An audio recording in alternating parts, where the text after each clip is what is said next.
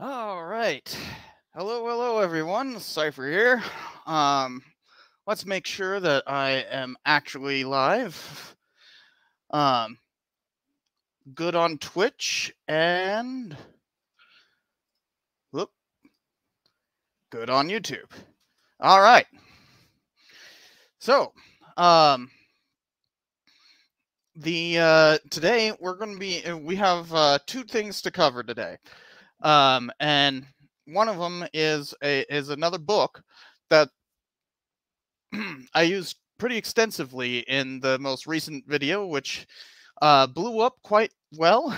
the last video got a lot of views. Um, and um, uh, but before we do that, we'll, we'll be covering um, I, am going to be talking about this uh, group trip thing. But even before that, always got to start off with a beer. so to, today I'll be drinking um, Founders. I should have thought about that, but I can't say that word right now because uh, that's a uh, that's a no-no word for uh, YouTube. Might get this demonetized. Um, but it's from Founders Brewery, and it's a uh, it's a a uh, a eh, well, it doesn't actually say, but it's basically a brown ale, um, and it's barrel aged, so it's very potent. So, um, there we go. Let's get that in there. All right. Now that that's all out of the way, I wanted to show you guys this. Uh, it's this uh, thing called Trova Trip that is running right now. Um, and you guys can sign up for it. And I want to field some. Uh, I want to answer some of your guys' questions. Uh, about it. So first, let me do this. Do, do, do. Share screen. Um, there we go. All right, so uh, Trova Trip is a uh, company that basically allows people to host their own group trips. And I will be hosting a group trip to Germany um, well, Germany and Austria actually. Um, and it's uh, it'll be as you can see there on June 4th through June 11th in on in uh, 2024. So next year. so essentially what this is is that uh, we'd spend about a week um, going from Munich to Salzburg to Vienna. Um, here, let me. Uh, why isn't it letting me? There we go. Um, so, um, there's plenty of spots open, but there there is a limited quantity uh, quantity of them, and essentially for that price tag right there is the entire trip, right? The the cost of the trip. That also includes some food, so there will be uh, yeah, seven breakfasts and two dinners. Uh, most dinners you'll be uh, well, we'll be on our own. Um, say for at the beginning and end, but in the morning we'd get together, go have uh, breakfast, and then we'd he- yeah, head out on a uh, trip uh, on to a whole bunch of different places. So if you go down here, you can see that there's all these trip activities. Um, so, you know, starts off with a cycling tour of Munich, um, which will end at a beer hall, actually. Um, then the next couple days go to uh, to two different castles. Then we'd uh, take a train to Salzburg, um, where we'd uh, you know walk around and get uh, uh, introduced to uh, Salzburg, and then the next one, the the next day we'd go to uh, Hohensalzburg, um, the the uh, big fortress up the hill there. Um, and then the next day would actually be devoted to a bunch of stuff regarding the sound of music. Um, that's actually a based on a true story musical, and some of you may know that I'm kind of a sucker when it comes to musicals. Uh, and I actually I've been wanting to make a uh, to make a review of The Sound of Music for a long time.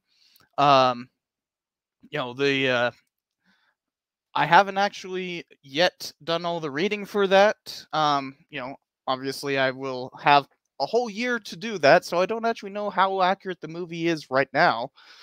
Um, I will, of course, once once this comes around, but this would be part of making that episode. So you guys would actually be able to see me doing what's necessary to record, to get B roll and all that kind of stuff um, while we're there. And realize that all of these tours are while I'm the host, so I'm like the person who like gathers everybody up and says like we're going here and here's what to expect and all that.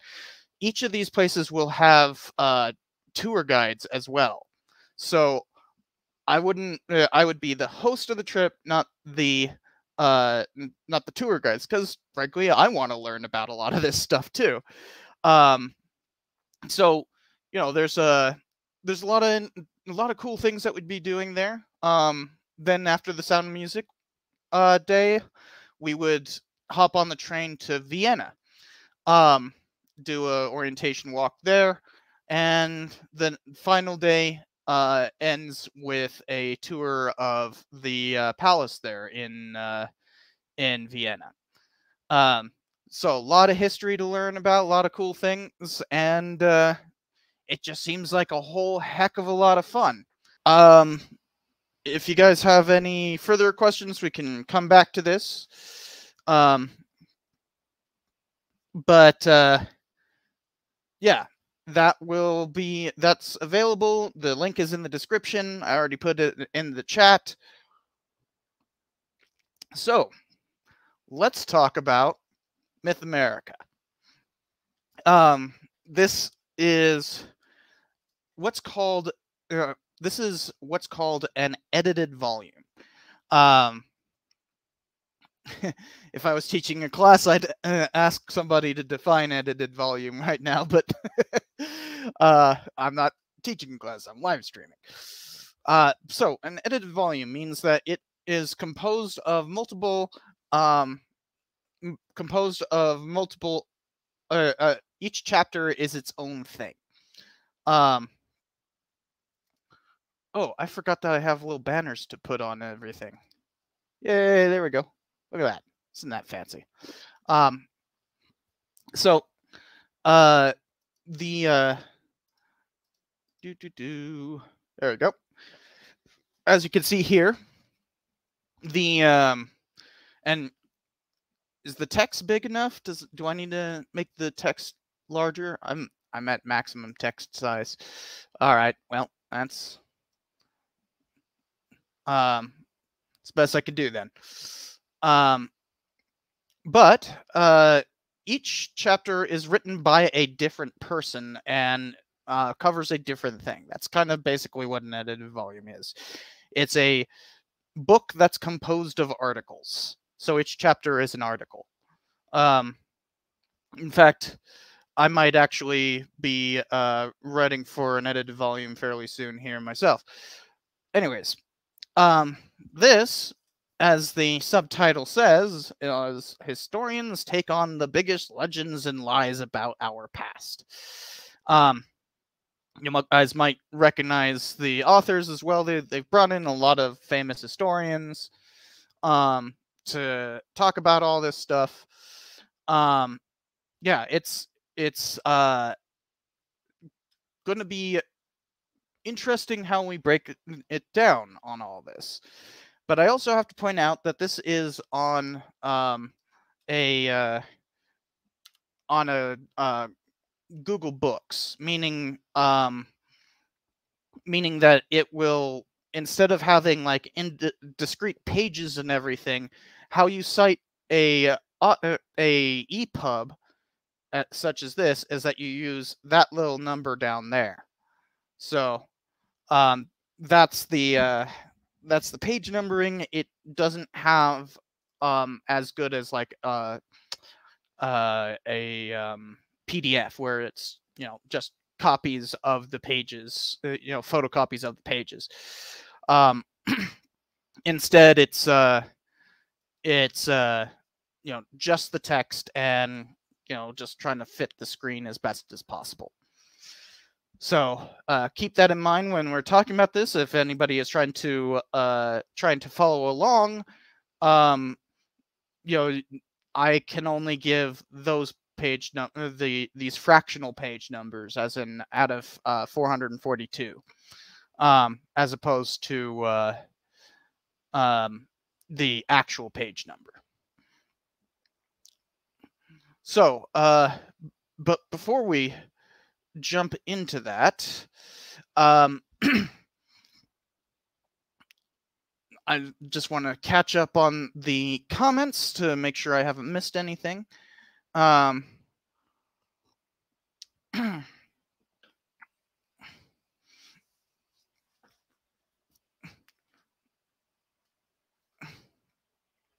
do, do, do, do.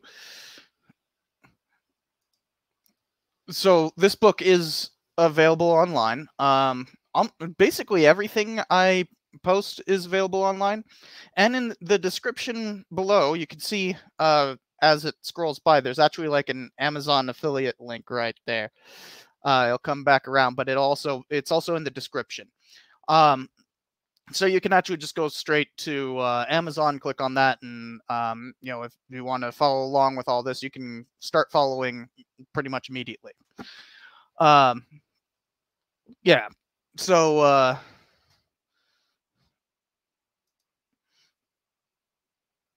the uh, they took the train. Oh, oh, you guys are still talking about the sound of music.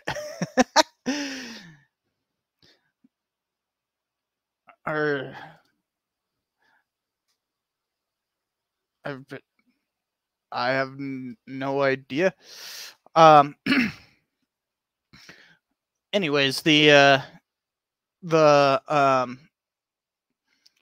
So this is also a perfect time because it is uh, the book itself is related to um my most recent video, the uh, ten found uh, town bleh, ten American founding myths. Um, the uh, um, the uh, wow, lose my words. so I I read this book um actually after I had started creating that video, but something you have to understand is a lot of my videos are have been in the works for over a year. Um no joke, I came up with the list of myths um geez like over a year ago. Uh and this book didn't come out until this year. So um I didn't exactly base the uh, episode on this book, but once I read the book, it was like, wow, they're saying some of the same things that I uh, that I already said, and I actually modified a couple of things to uh, um, fit better with what the book says. So yeah, uh, while I didn't base the episode on this book, I did uh, use it to improve the episode.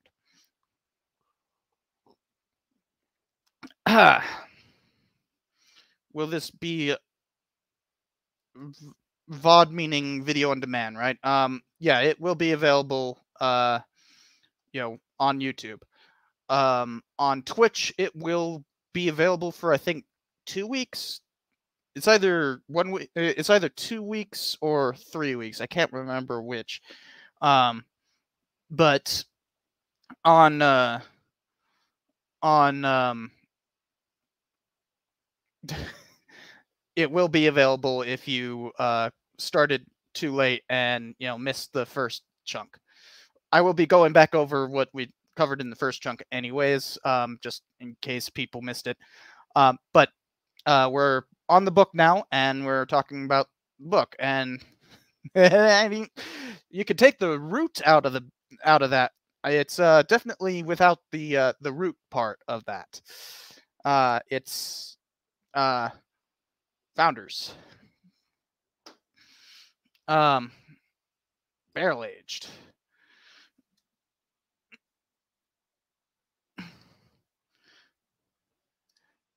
How do I generally respond to people disregarding my videos like that, or is it just not worth it?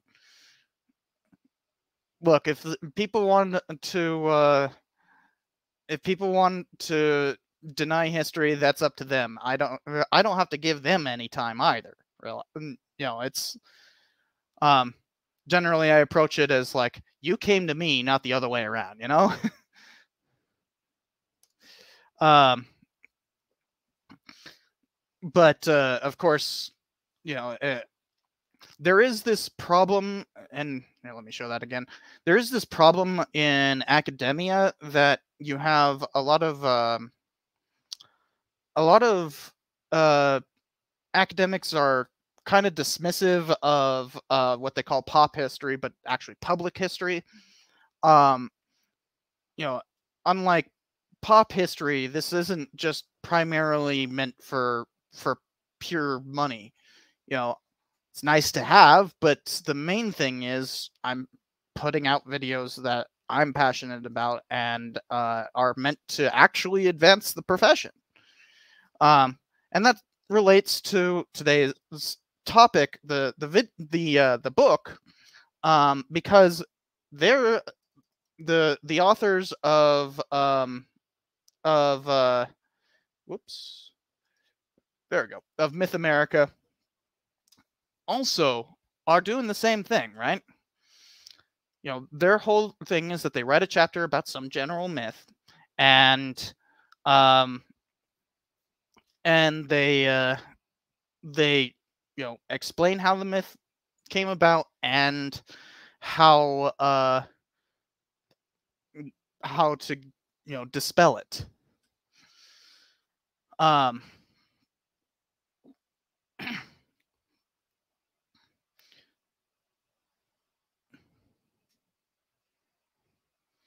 uh how here's a good question how old does a historical building slash artifact have to be to be considered old in the us it just depends on the definition. Actually I did an entire episode on that um called uh uh what makes something historic. So if you want a bit more familiarity with that kind of subject? Go check that video out. Um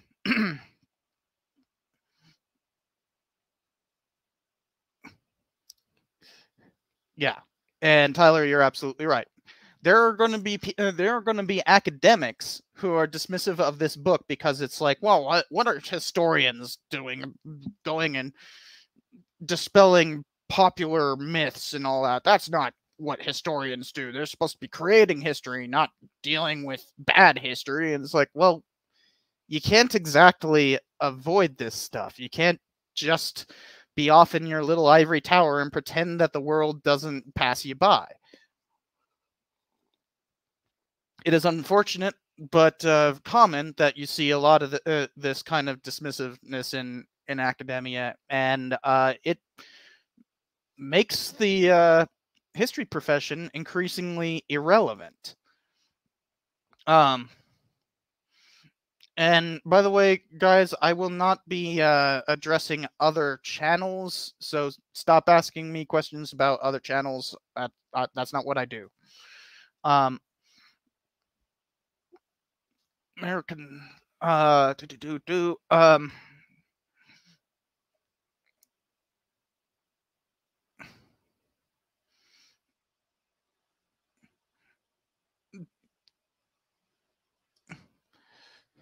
what is the uh, this is a uh rather interesting question because it depends on how you mean harm right um you know how is it harming people currently or how it has harmed people in the past.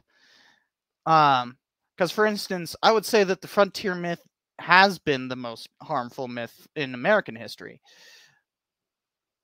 But currently, not even as harmful as like the lost cause and lost cause is already on its way out you know? Um you know but in terms of overall history there is one central myth that the history profession pushed and uh and basically it was the foundation of the history profession and we're now all collectively kind of fighting it. It's it's the national myth that a uh that a nation can have a character. Um, and by defining a national character, you can marginalize people by saying that they do not fit that character. Hence why we use the term marginalization, as in marginalized from the national character. It is quite literally the most harmful myth, period. Um, so uh but that's that's a kind of like meta history you know? Uh nationalist history is is basically gone um but uh, it still is like foundational to uh, how it's taught in school and that. Um so yeah that's that's like the most harmful myth but uh it, it's a little too meta. Um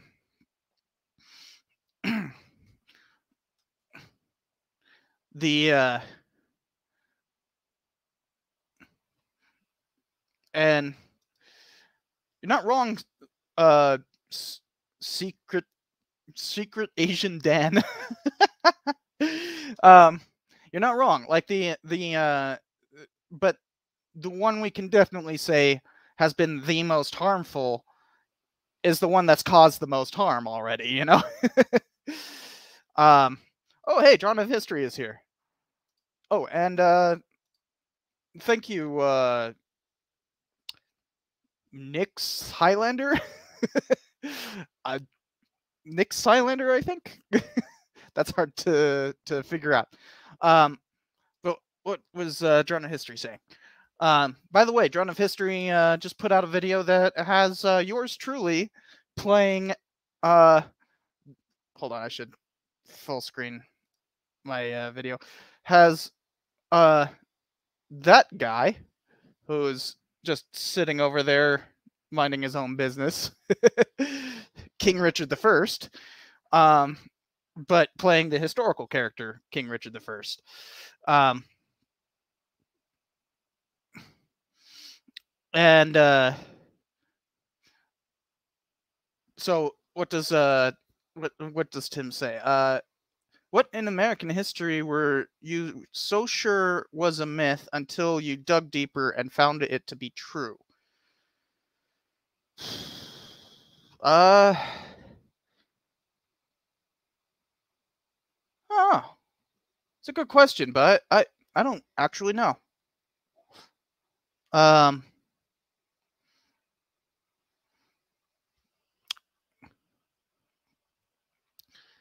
But uh Merc here, Merc with a mouth. uh, ha- oh, it's a Deadpool reference, of course. Uh, the uh, has kind of the reverse of Drone of History's question, which I can answer. Just recently, I've kind of learned how right wing uh, Silicon Valley is. Like I've been doing a bunch of research into Silicon Valley as a uh, as like um as a uh for the California history series and like you know there's this general myth that like you know you got a bunch of you know liberal just hippie types running so uh, running all these tech companies and that and it's quite the opposite quite the opposite. They are uh actually quite right white right, right wing. Um you know there's a reason why the hoover institute is at stanford you know?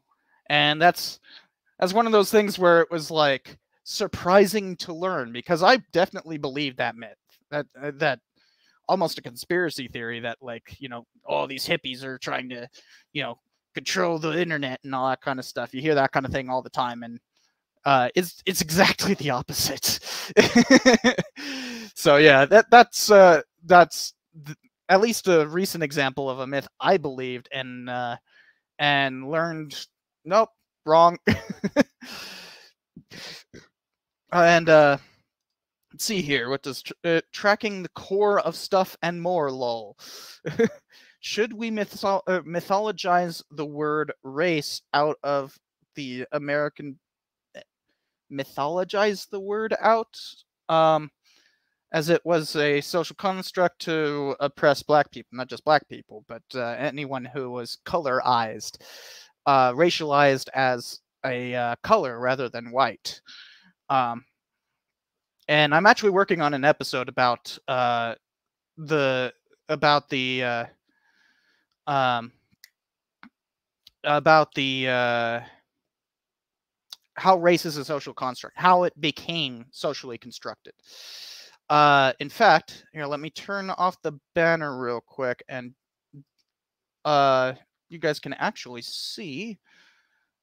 Um, once I get it open. Do, do, do. And boom. There we go.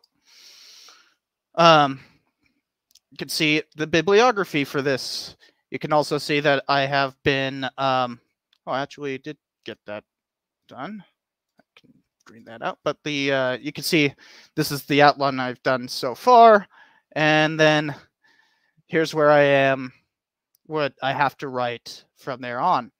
Um, so yeah, I'm actually working on this specific topic. Uh, but um, oh, let me get it a little bigger. I do have a pretty substantial um, bibliography for this thing, um, and you can see the uh, yeah, it's actually yeah, it's uh, it's a page and a half of bibliography. So yeah, there's a I did a lot of research on this. I'm finally getting around to writing the actual script and everything. That's uh, kind of what I've been working on for the last uh, couple days. Um, although I've been dealing with some um, you know academic stuff as well. But um, yeah, I, I am working on a whole thing about how uh, race is a social construct. I don't know what you mean by mythologize it out, uh, but like, for instance, one of these books is called like the Myth of Race or something like that. Where is it? Ah, here it is. Myth of Race by uh, Wald Ro, uh, Robert Wald Sussman. Um, the uh, you know the troubling persistence of an unscientific idea um, published published by Harvard. So you know, um, and uh, also that book was interesting because I believe Robert Sussman is uh, is a uh, biologist or something like that.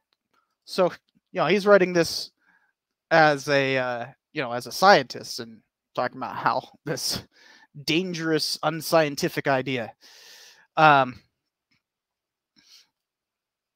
but yeah, there's a whole bunch in here to to dig into and to uh, to understand for that. Um, but uh, now that because that was a good question, but we have gotten a little bit off track here. Um, also, there were a lot of comments that I completely missed while answering that. So let's go back to Myth America. So already explained what a edited volume is. So let's let's talk about um, how they formulate this whole thing. And I have a banner. There we go. That just has the names of each of the chapters. You'll notice one of them is even founding myths. So we'll get to it. But let's talk about the order of these of uh, these uh, chapters. Because remember what we did last time is fully dissect a book. It's a little bit more difficult to dissect an edited volume because you know each chapter is its own singular thing while they do have an introduction um, that introduction is basically just talking about the urgency of of busting some of these myths. Um, and you'll also notice that like some of these are titled as like the thing that they're the myth that they're busting but other ones are like the thing that people are uh, like myths surrounding things because obviously the border itself is not a myth it's it's a it's there but um you know the uh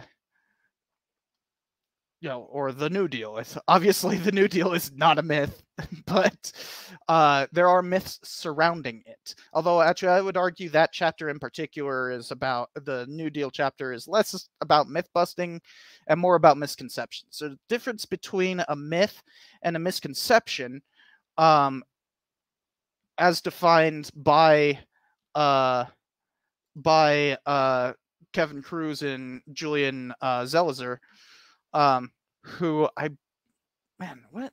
I'm forgetting the name of the book that they wrote.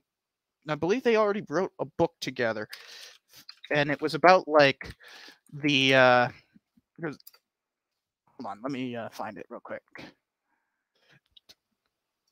Uh, no, okay, I gotta wait for my bibliography to load, and my bibliography takes like a full minute for it to load. I mean, like seriously, it it's just massive. um, but we'll just have this sitting in the corner, and it'll yeah. You see that little number going up? That number has to hit, go up to I believe 180 pages. um, anyways, uh, Kruse and Zelizer um, define myth pretty much the same as as everyone does, which is to uh, which is to um, say that like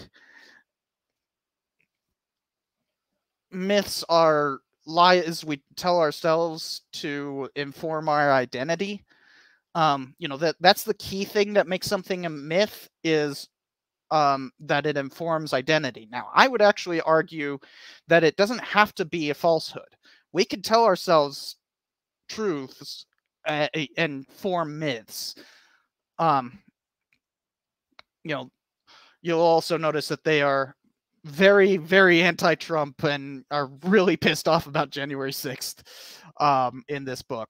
Um, in fact, there's an entire chapter about uh, insurrections in here that pretty closely follows my insurrection video, interestingly enough.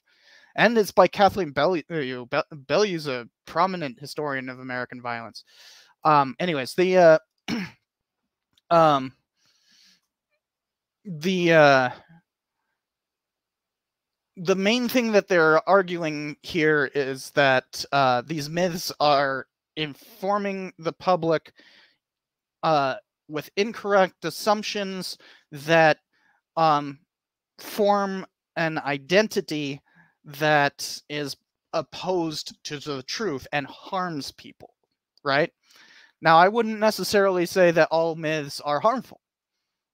I I actually am um, kind of opposed to their definition of a myth here.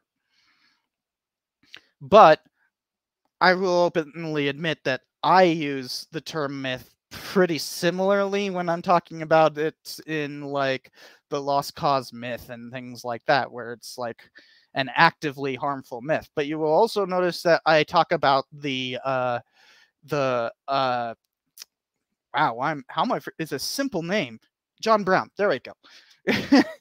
like I talk about the John Brown myth in um, the episode, uh, the Good Lord Bird. Yeah, that's it. My review of Good Lord, Good Lord Bird.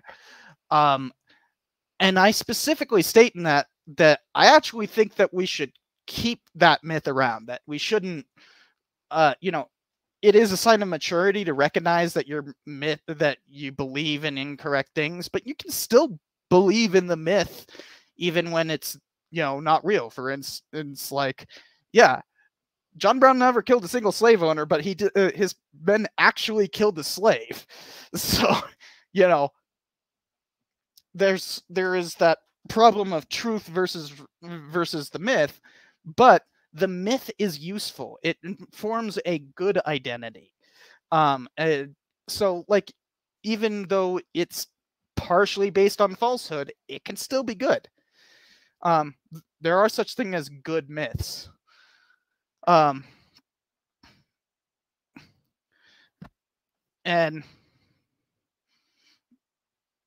very I don't know what that means, Venara.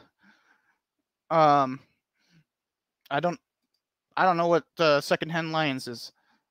Oh, by the way, let's uh check and make sure. Oh no, it hasn't loaded yet. I'm just gonna make this its own um its own window, and that'll keep it loading. Problem with having such a big um, bibliography is, uh, whoops, is that um, you have to uh, you have to like wait for it to load. uh, so, but that's the basic premise of this book. Now, each chapter is its own myth and written by a different author. So you do get very different voices, and some of them even have differing definitions of myth from Kruse and Zelizer's uh, uh, definition here. But the main thing is that they're positioning this book as a way to fight disinformation. For instance, you guys might remember a long time ago I did a reaction to PragerU uh, guess what? One of these chapters specifically call out as like one of the main sources of disinformation on the internet. Um, where is it? Insurrection, Great Black Backlash. There it is. Right there. PragerU. oh, and this one's written by Kruse. um, Wait, I just remembered. Isn't it Age of Fracture that uh, Kevin Kruse wrote? Is this fully lo- oh, this takes forever to load. Um, but uh, yeah, so they specifically call out um, that as a problem. Um,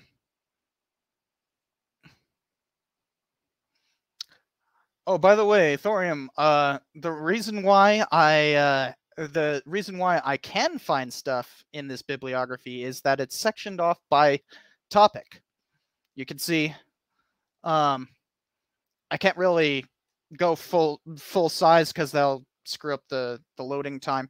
But um, yeah, you can see right here that like there's a whole table of contents right here, and we can go down the side and see that there's a bunch of topics.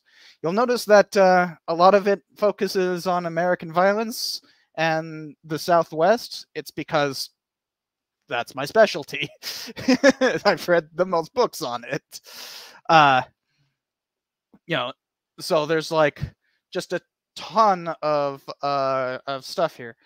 Um, and when I when it says Western historiography, I'm talking about the U.S. West, not like you know Western Europe or something. No, I mean like Western uh, the U.S. West. That's why you see Bancroft right here at the top, and Billington, Brown, um, Goetzmann. Um, where's Limerick? There's Limerick. I haven't talked to Patty in a while. Um, anyways, um, it has now loaded. So let's find the book that uh, that uh, Kruse and Zellinger Zelizer wrote. Um, I should probably turn off that banner.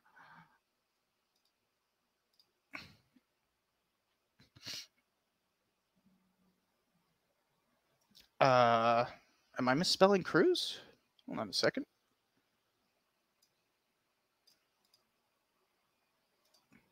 Oh, I uh, misspelled it. There we go. There's one. That's the book we're looking at right now. That's the book we're looking at right now. Why is that in here twice?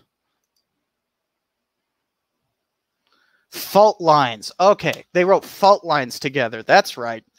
Um, fault lines is an interesting book. Uh, I have it. Uh, I have it physically. What? Whoa, whoa, whoa, whoa! What just happened?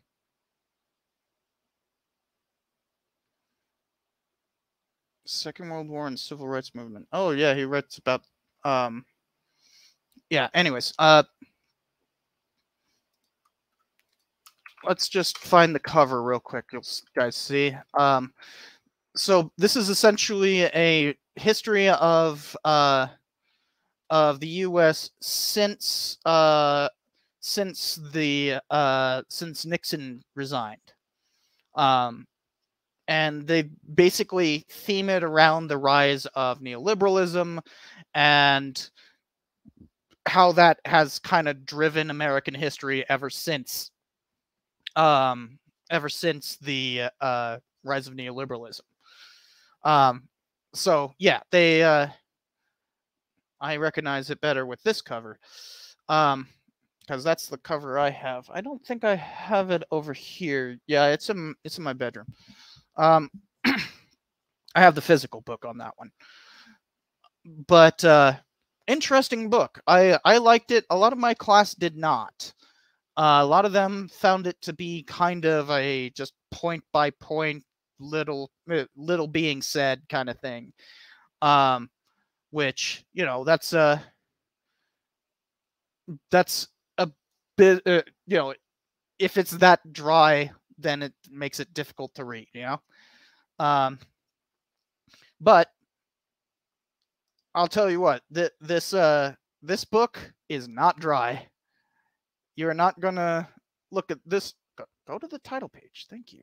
You're not going to look at this book and think that, um, you know, there are a couple of, um, of chapters that are dry, and we'll get to that in just a second. But the, uh, the main thing is they're they're busting fairly persistent myths that a lot of people don't even realize. So now that we've talked about like the theming of the book and everything, let's jump into the chapters themselves. So you'll notice that the uh, there there we go. You'll notice that the uh,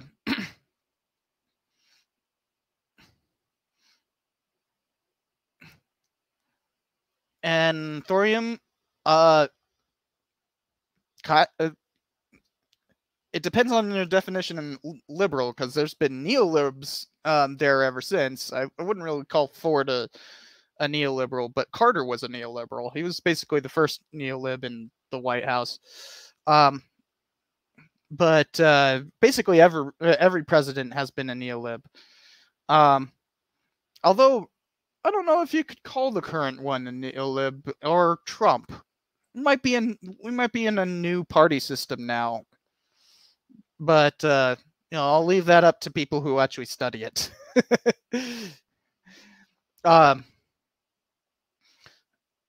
and uh thanks for saying that uh Charlene. Um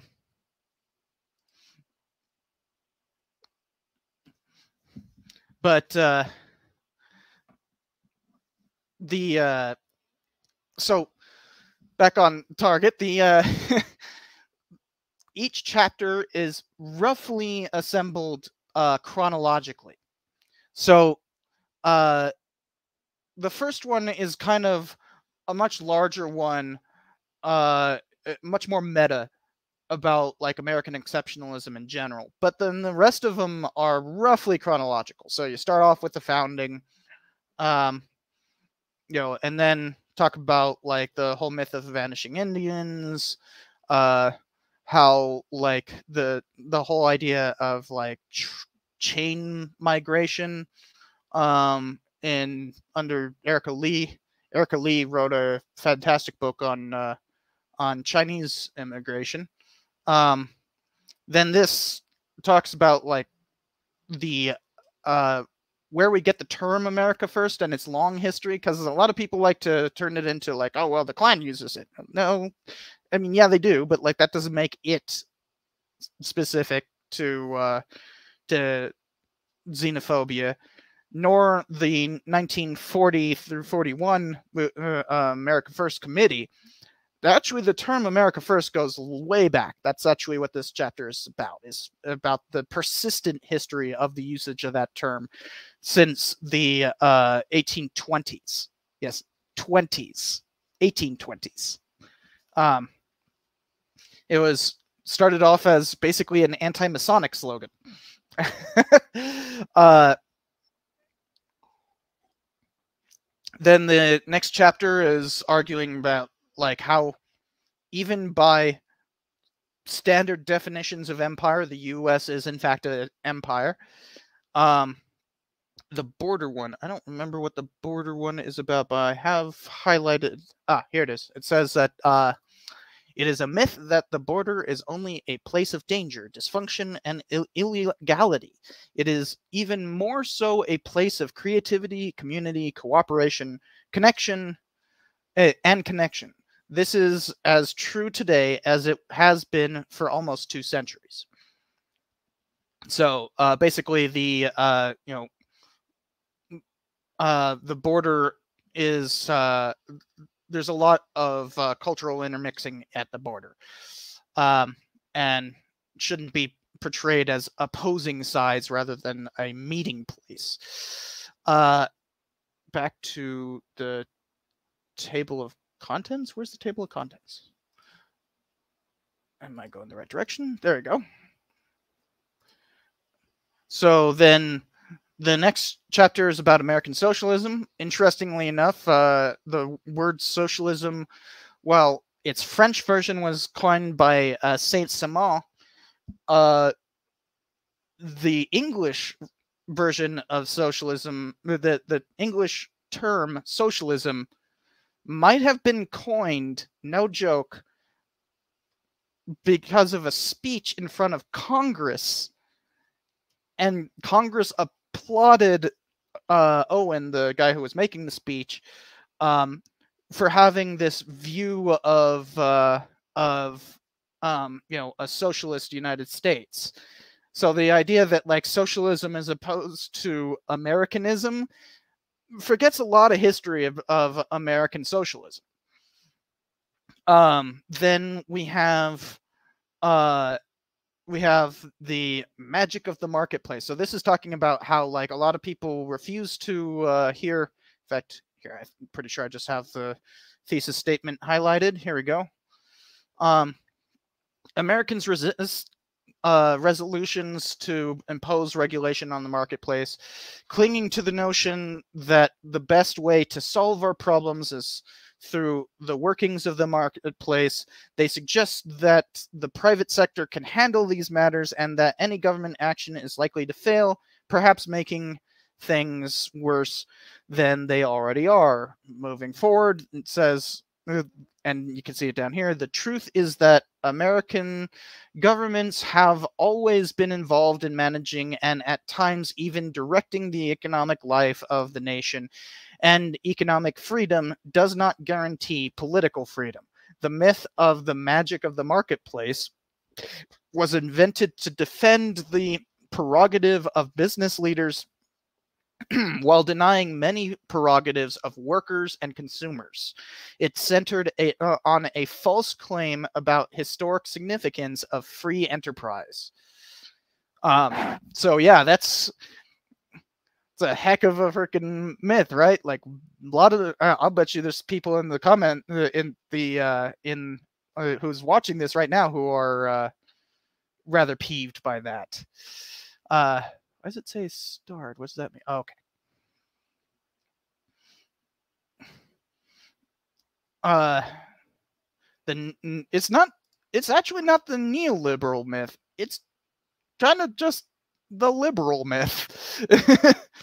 like he's talking about, you know, the 1930s, you know, not the uh basically fighting against the New Deal as in like conservative the, the conservative coalition that was basically led by Hoover. Um And yes, Adam Smith absolutely hated landlords. Most most uh uh economists especially uh, 18th and 19th century economists, even early 20th century economists, despised landlords. I mean, David Ricardo probably was the most vicious about it, far more vicious than Marx. Um, you know, David Ricardo was basically saying, mm, you know, let's go full Mao and just execute them all. Um, so yeah. And so yeah, there's this is uh this chapter uh covers how the US has a long history of regulating the marketplace and being directly involved and uh, in uh, in directing it and this whole myth of free enterprise being you know foundational to american prosperity is uh, a bit wrong. I mean, he doesn't say that like it has uh, that is that free enterprise has been you know completely useless but he is saying that the idea that that american prosperity is founded on free enterprise is false. Um let's get back to the contents Oop.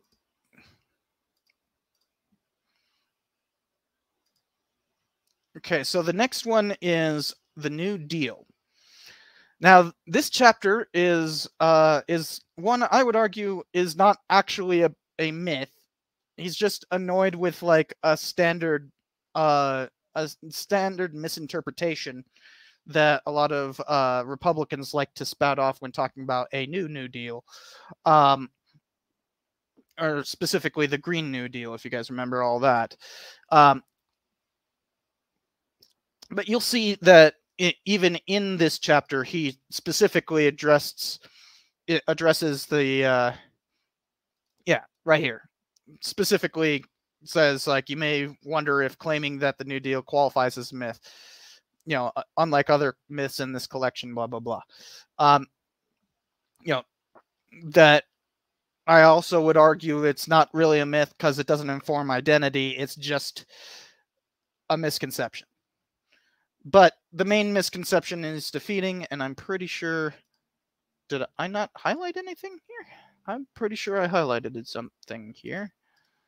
Um, do do do annotations. That's the one we need. Uh, let's see here. Go down to here. Okay. Ah, it's right at the end of the chapter. His thesis statement is at the end of the chapter. Bad writing. you shouldn't be. Your thesis statement should come out clearly at the beginning of your of your work. Um. Anyways, we it says we cannot necessarily ba- based on this information that we can we cannot necessarily say based on this information that the New Deal promoted this recovery, but we can say that if to use Grassley's uh, Grassley's the person he's arguing against um, phrase, the New Deal dampened economic growth. It did not dampen it sufficiently um, to uh, prevent an extraordinarily rapid rate of recovery from the Great Depression. And then he goes on to say um, moreover, there are reasons to believe that the New Deal's policies did encourage recovery. So, yeah, the the argument here is basically, uh, you know, we can't say for sure if the New Deal worked, but we can, but we can say for sure it did not not work. All right now to go back to the table of contents. We... All right, and now we're to Confederate monuments. This is basically the thing. Uh, this is basically going uh, talking about what I've talked about in the uh, in the lost cause myth thing. This is basically refuting the lost cause. Um, it's also saying, you know, like monument a lot of confederate monuments are indeed monuments to white supremacy um so the next one is the Southern Strategy one. This is uh, saying that yes, indeed, the parties did flip, and to quote Kruse himself. That's almost exactly what I said. there was indeed a long term transformation in the two parties, first at the national level and then subsequently at the state and local levels, a process that stands at the core of 20th century political history. Over several decades, Democrats abandoned their role as the party of slavery, segregation, and white supremacy to champion civil rights. In response, Republicans retreated from their original racial liberalism and courted white resentment. So, yeah. Basically, my party switch episode. um, and, you know, it's interesting that he phrases this as as going against specifically PragerU. uh, which I believe is like their second most popular video is is the is the one with uh, Carol Swain. Um, but uh, yeah, it's the uh, it's quite a problem that uh, how often you see this one. All right, so uh, chapter 13 is about the good protest. So this is basically talking about how um, and realize CRM stands for the civil rights movement. Um, basically, this idea that like, um, well, actually, details. Uh, this one's actually kind quite a comprehensive batch of things that um, he she is refuting. I forgot who wrote this. She is. I don't know who Glenda Gilmore is. Um, but uh. the uh um All right, so uh, by the way, Tom, we talked a little bit about this. Um, there's a, mm, it's important to um, give a more comprehensive definition of this. Uh, let me get rid of the banner real quick while I'm actually responding to comments. Uh, so the uh, the difference between myth and legend is mostly uh, I, I don't know, but I can tell you the difference between a myth and a conspiracy theory. A conspiracy theory is a uh, is a lie that um, that uh, that theorizes that there is some sort of conspiracy, um, you know, afoot by positing um, positing a story through uh, through an absence of evidence rather than with evidence. So it's an it's an argument from silence essentially. Um, it's the well, the FBI didn't say that they didn't do this, so they must have done that. Um, you know, a myth is a story we tell ourselves to inform our identity. Now, under uh, Zealous or Kruse and Zelizer's uh, definition here, um, they their definition is that it has to be a lie, um, a story that is false, um, and knowingly false. By the way, it's not eh, for them. It it has to be like purposely uh, false, as in a lie um because you could tell falsehoods and just be wrong you know you don't you could like there's a difference between lying and being wrong you know um and there's a difference between um myth and conspiracy theory now i don't really i can't really tell you the difference between myth and legend um consult a dictionary on that one but like the difference between myth and conspiracy theory is uh, one is being used as like an argument from silence, as in like there's an absence of evidence, um, or it doesn't actually have to be a, a real absence of evidence. It's a perceived lack of evidence, and then theorizing a uh, conspiracy to to explain that absence. Um, whereas a myth is a story we tell ourselves to uh, to inform our identity. Um, although Kruse and Zelizer would specifically say that it has to be false or a lie. Um, and still alive. Uh, let's see here. Um, hi, Cipher. Hello. Uh, huge fan of your channel, especially as a history major myself. Nice. Um, I was wondering if you have ever seen the Pacific series and if you might do based on true story on it. No, I, I'm I'm not gonna um like I've gotten a lot of requests to do Band of Brothers as well. Um, but uh no, also uh I have serious issues with the with the author of Band of Brothers. Uh and I don't know. It, I know Pacific was made by the same company. Um, I have seen the series, um, but I it, it's also really difficult to do episodes on entire TV shows.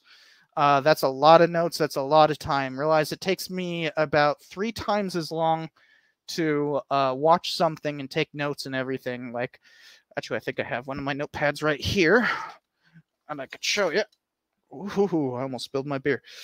That would have been bad. Um,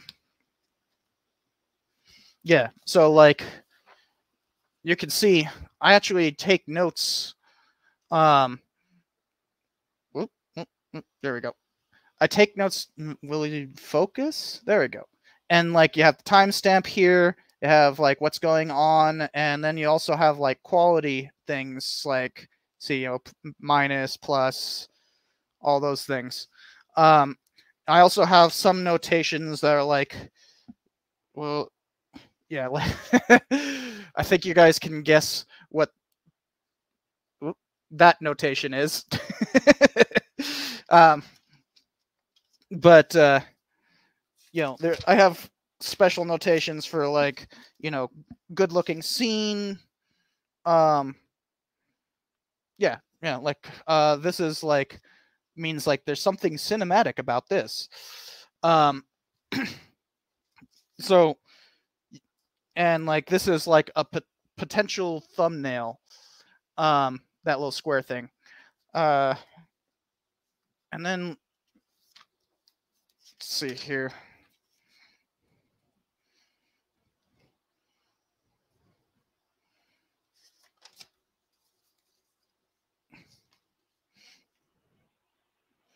Yeah. All right. So, you know, this is for the Hamilton one, and you can see there's music there. Um, what what is the heart supposed to mean? Oh, that's referring. There's like this whole subplot of like, uh, of like, uh, three way between Hamilton and all that. So I started recording that. Um, that is referring to like mentions of slavery.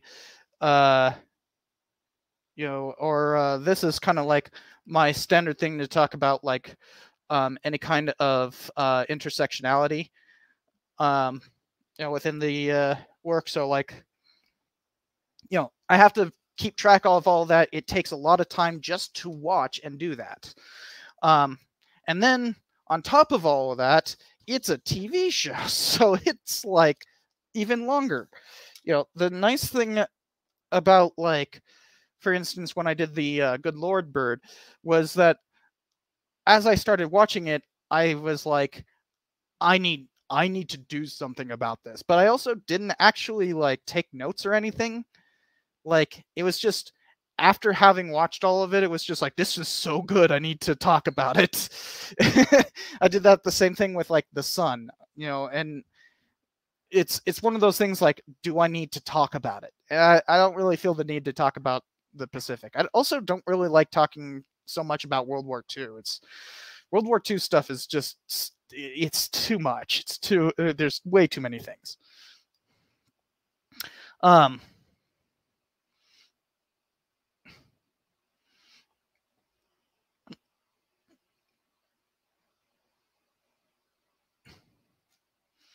Let's see here.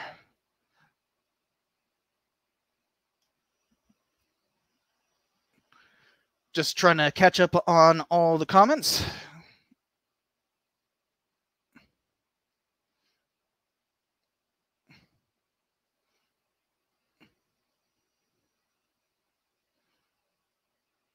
do, do, do.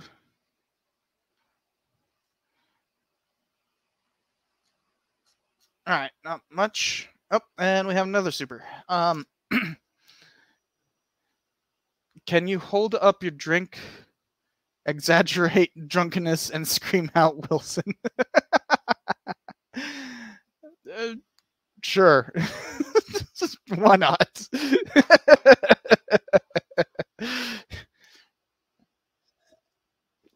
Wilson! Why not? I don't know how to exaggerate drunkenness, but um um all right so let's get back to the book. Um so let me put on the little banner thing. Here's the little you know all the chapters. Um but uh do do do show this? Oh no. No no no no no. There we go. Uh there we go. So uh the chapter we're on is about the good protest talking about like how we mythologize the civil rights movement. And this one actually has quite a list of things that they uh that we mythologize. Uh so first it chronicles a long civil rights movement from the 1890s to the 1950s that ultimately led to the classical phase of the movement. Classical classical phase being 1954 to 68 um well no more like 1954 to 65 basically ending with selma is you know from montgomery to selma rather than montgomery to memphis. Um but uh sometimes people include memphis in the classical phase uh you know and uh, ev- all the uh, black power stuff and that um the, this longer um, look demonstrates that winning the civil right, uh, winning civil rights was much more difficult than most Americans believe. That African Americans had always fought for equality. Second, it dispels the notion that most Americans supported the protests. Leaders such as Martin Luther King Jr., who have been canonized in the past 35 years, were vilified then. And th- third, it proves that the classical phase protests were and had always been about issues other than simply abolishing segregation. Police brutality, economic equality, voting rights, and cultural symbols have always been on the civil rights agenda. Fourth, it sees the it sees the classical phase as incomplete with issues that remain on the national agenda reshaping the national myth of the good protest uncovers a more useful path in the face of growing anti protest sentiment. Um, so, quite an interesting chapter um, because, like, it, it really does, uh, like, there is this weird kind of like the you know the civil rights movement was good but everything outside of it isn't and like somehow the civil rights movement was purely about um ending segregation which no. Um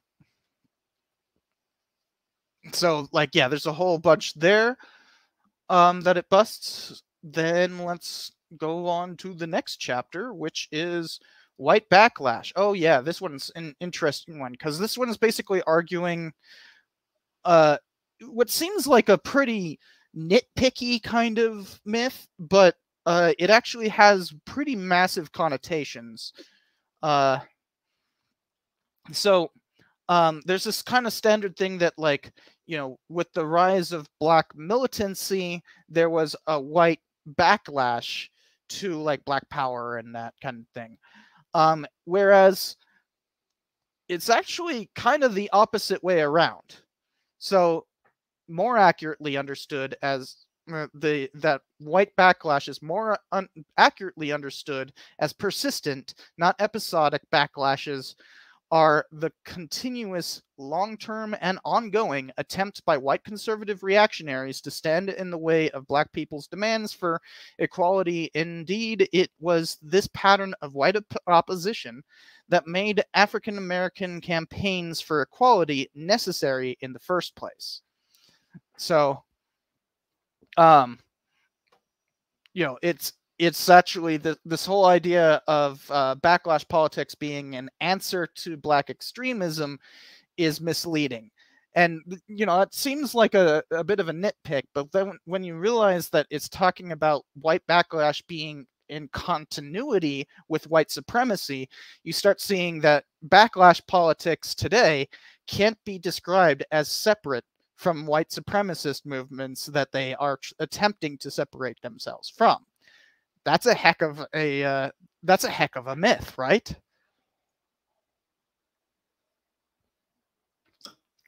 Um,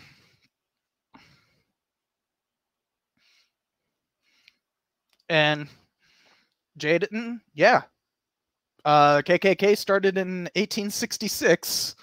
Uh, the first like militantly uh, militant black movement would probably be the New Negro movement after World War One. Um, at least I guess you could accurately describe that as pretty militant. Um, and yeah, uh, World War One ended in 1918, a bit afterwards, and also the second KKK had already come into ex- existence in 1915. Um, had already grown to massive popularity, especially because of the war.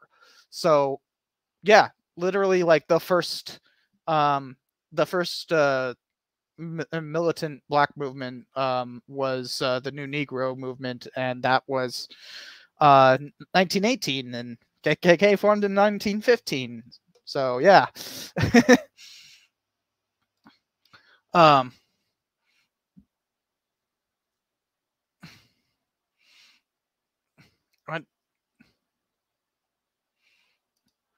Why didn't the civil rights movement achieve major victories earlier? Man, that is a heavy question. Uh, but basically, white supremacy. um, there were groups like the KKK.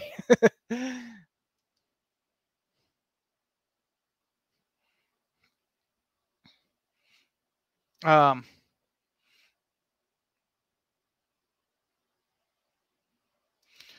oh, this is interesting. Uh, throwback to uh, earlier thing about uh, the Pacific right there. Let me uh, full screen this. Uh, so this is an interesting thing on the uh, on the on um, so Stephen Ambrose didn't fabricate sources or lie. The thing that Stephen um, his Eisenhower bio. I think you're thinking of Doris Kearns Goodwin there, Matt, Bam. Um, Doris Kearns Goodwin uh, wrote the one uh, wrote about uh, Eisenhower and um, JFK and LBJ. She actually worked in the LBJ administration.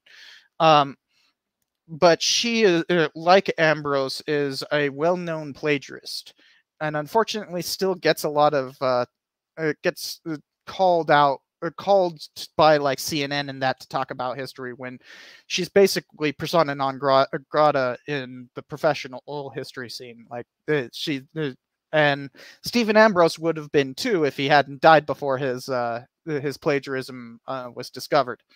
My uh, father, for instance, who is also a historian, um, refuses to watch Band of Brothers because of the plagiarism in it. Um, like it, it plagiarism is really the the greatest sin a uh, a historian can make. Um, you, uh, it's one of the things that will make you basically persona non grata like that. Um, I don't know if you guys could hear that. That. um, so it, it's actually a pretty big deal. Uh, and I might at some point make an episode about that. There's a great book uh, called, let me pull it up. I have it digitally. Um, oh, Past Imperfect. Um, and I really like it because uh, because um, hold on.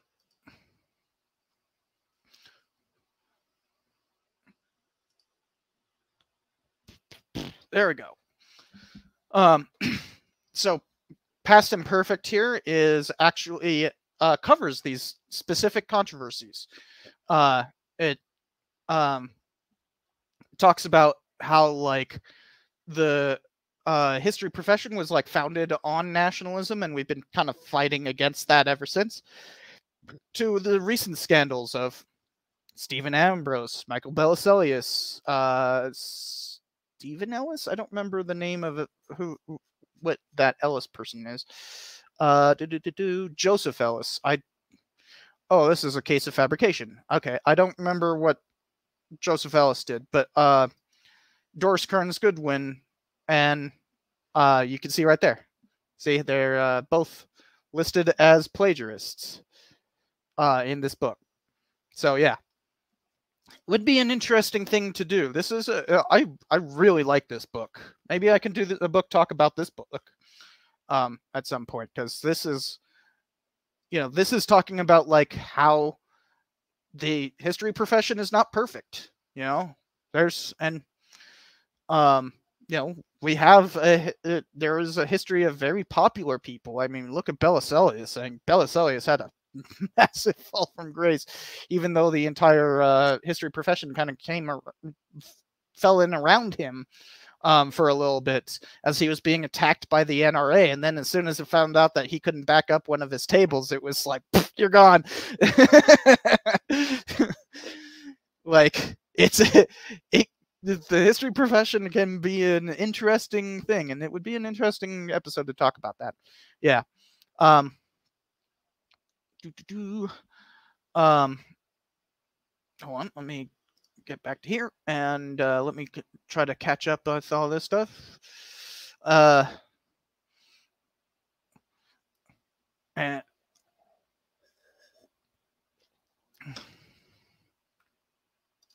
uh, okay, so Ellis lied about his Vietnam service. Did he write a book about Vietnam or something?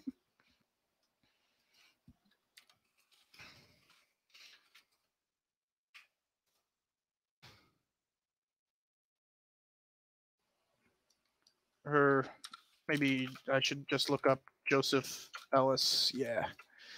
Um Oh, he's one of the founder chic people. Okay. So not really related to his historical scholarship, I guess, but you know, yeah.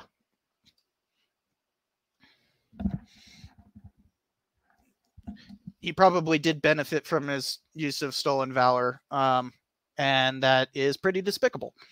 Um, but uh, yeah, not exactly uh, the issues we're dealing with here. Um. Hold on, let me close some of these tabs. And let's get back to the book itself. Um, let me pull up the thing. I'll just keep that there, uh, that one, so you can keep on being reminded what the name of the book is. Uh, and let's move on to the next chapter, which is about the Great Society. So, there we go. Um, Joshua Zeitz. I recognize that name. What what is that name?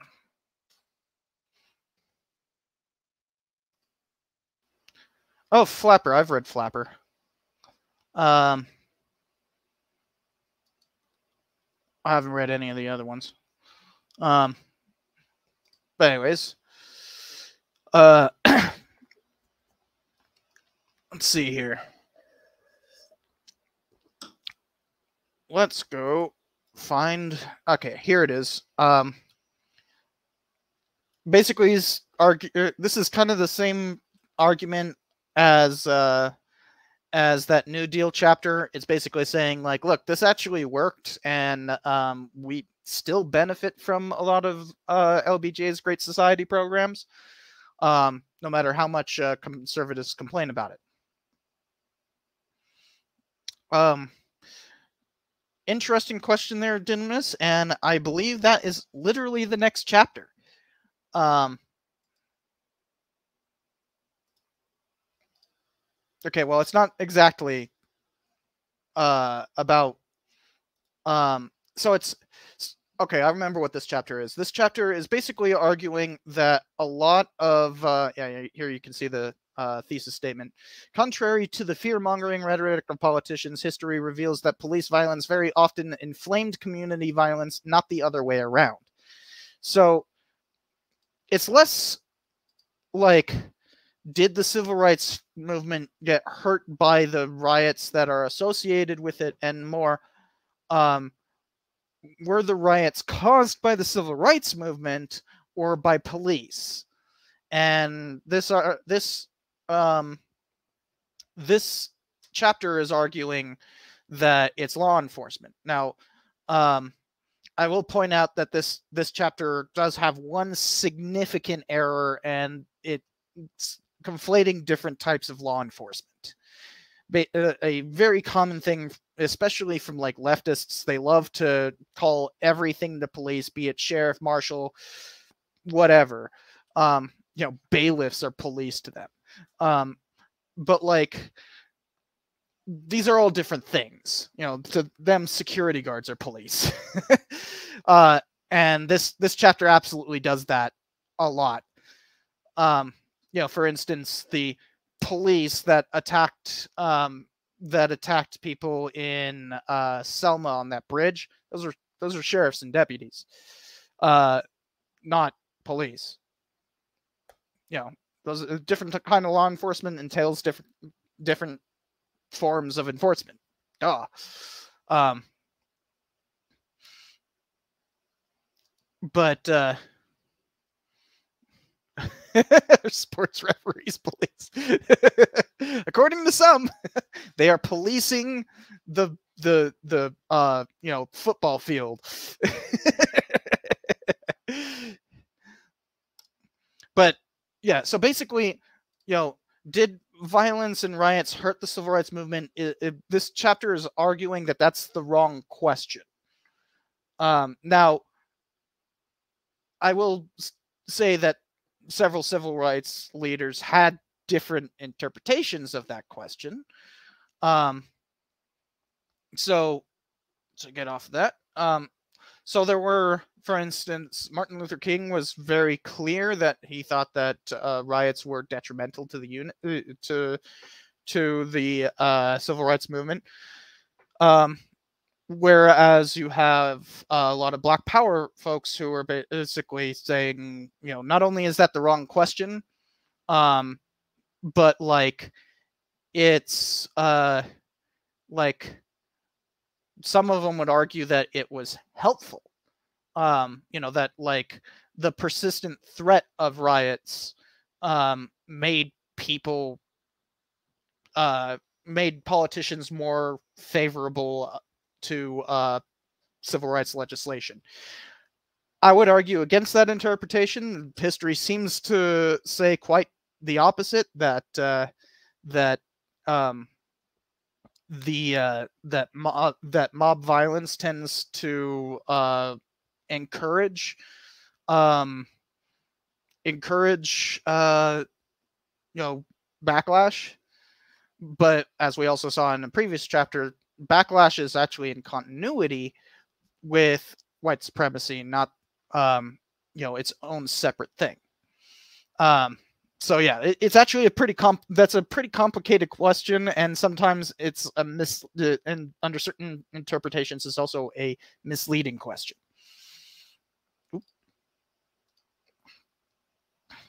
but uh, depending on your interpretation, it could be any number of answers. Uh, so let's go on to the next chapter, uh, which is, I believe, Kathleen Belew's. Yeah.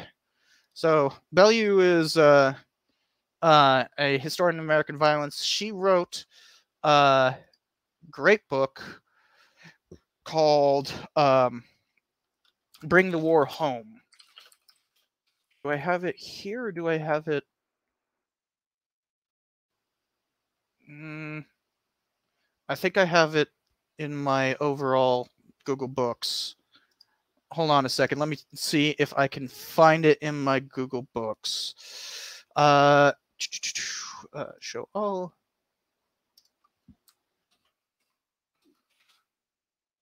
Yeah, there it is. so, uh, she wrote this book. Um, Bring the War Home, White Power Movement in Paramilitary America.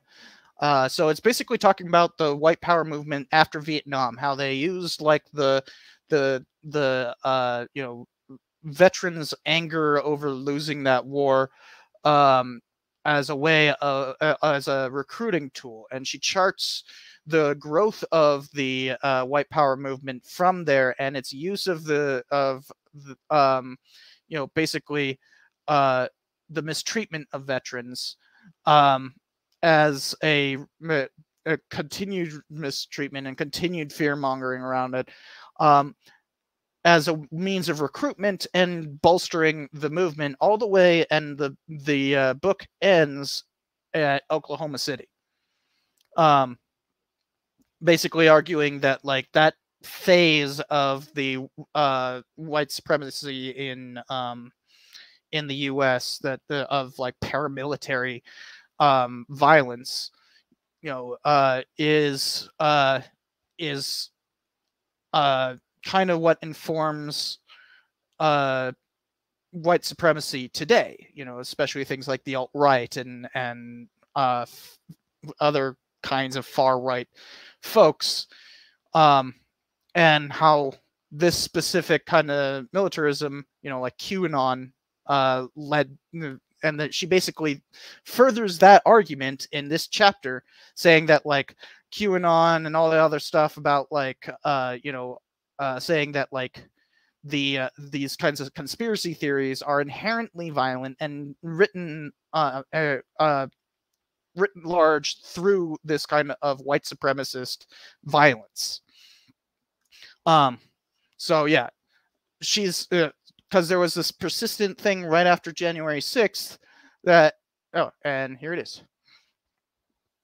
Although in this case it is understandable emotional reaction meant to decry anti democratic violence, the notion that January 6th is not who we are is one manifestation of what has become a regularly deployed Republican Party and right wing media strategy to deny the workings of overt and violent racist activism, even when those actions threaten American citizens and democracy itself.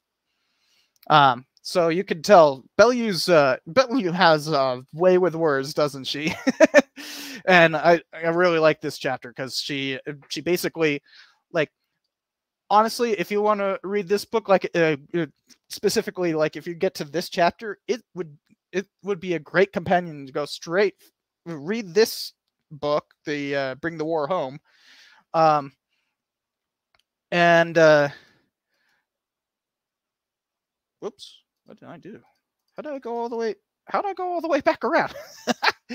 uh, you know, start off with Bring the War Home, and then just as you finish that, go straight to this, um, this book and this chapter. It's kind of like a bridge between those. Although this chapter mostly doesn't really talk about like 2000s violence, um, she does at least bring it to Columbine. Um, so, uh, yeah, fascinating thing. Uh, and I see we have a super here. Hold on. Um, Something else I was curious about was how you teach about Reagan and Clinton eras of U.S. history, or are they barely mentioned in your curriculum? Uh, for my second half of American history, uh, there is an entire week devoted to uh, the Reagan era. Um, but Clinton, no, not not much. Uh, there's like a slide.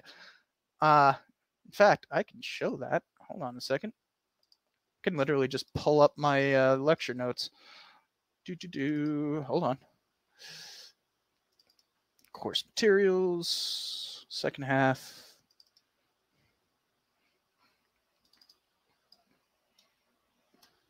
so this is just my uh, my actual course materials um, to answer the thing. Um, I do have an entire week on that on Reagan, but then um, this is all the attention Clinton gets. uh, you know, um, and funny thing about this thing, I go straight from this to talk about the growth of the internet, and no joke. Uh, let me get rid of this. But for you guys can't really see it, but I intentionally rickroll my students. Oh yeah, by the way, that that militia movement thing right there, that that bullet point is completely based off of uh of bring the war home. So yeah. Um so let's uh, get back to on topic. Uh, let's see here. Oop, let's get rid of that. And we don't need that. Um,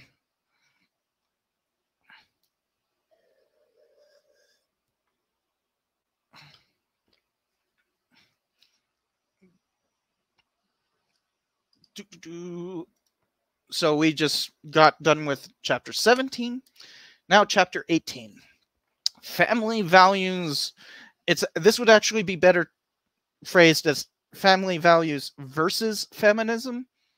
So there's this persistent myth that uh, feminists like hate family values that family values is opposed to uh, you know if you believe in family values you are opposed to feminism and that's just uh, patently false, right? Like the the feminist movements uh, have, for the most part, actually been in favor of uh, you know uh, families much more so than conservatives.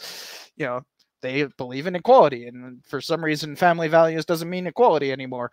Um, and um, so the the thesis of this one is feminists have and notice the uh, italicizations. Fem- feminists have never been dead set on destroying the family before, during, or after Schlafly's heyday. Schlafly being the uh, league antagonist to the Equal Rights Amendment during the uh, 1970s and early 80s. Um, and she continued to be this far right figure. In fact, I think she actually like didn't she die just um just after uh Trump got elected or something like that? And she like endorsed him or something. Oh no, she died during the campaign, but she mm, okay, yeah. Um but she actually I believe endorsed Trump yeah. Okay. Here we go. Here's an article specifically that you know Phyllis Schlafly made the case for Donald Trump. Blah blah blah. Yeah. Right. So even into her uh, into her, her last year, she was supporting far right candidates. Um, the uh, don't need to go any further into that, and so um, you know this this chapter is making that argument next we have the reagan revolution and this is by uh, zelizer um, and this one's about uh, basically saying that the reagan revolution wasn't as revolution as important as people make it out to be. So the argument that there was a Reagan revolution was born out of an explicit political bleh, explicit political strategy. The administration wanted to cement the impression that Reagan's victory had been a mandate for conservatism. Claims about a Reagan revolution exaggerated the strength of conservatism and, equally important, the demise of liberalism. So, yeah, it's a. It's a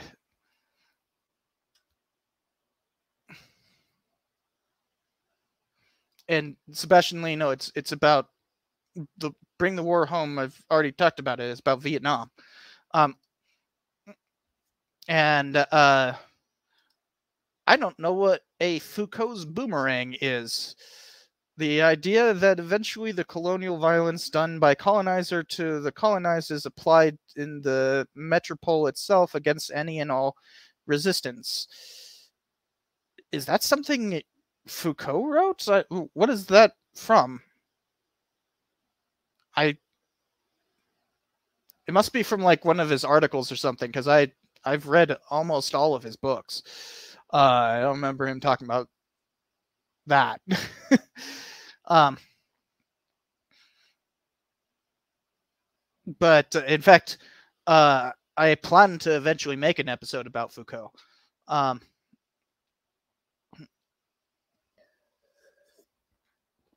funny thing is that episode will actually be more mo- mostly about Nietzsche. Um, from Robert Evans, the author and podcaster. I don't know who that is. Um, but uh, yeah, I've I've never heard that claim. That sounds more like a, a Malcolm X thing. You know the uh, birds coming home to roost comment he made about JFK. Um, but uh, yeah, no, that's it's not really the same thing um, at all. It's not some you know colonial violence coming back and revisited upon the U.S. It's like, uh, no, that's more about uh, uh, white supremacy using veterans as like to to recruit extremists. You see this on the left too. It's just not as strong. It's but there is absolutely an attempt to use veteran resentment to recruit. Um,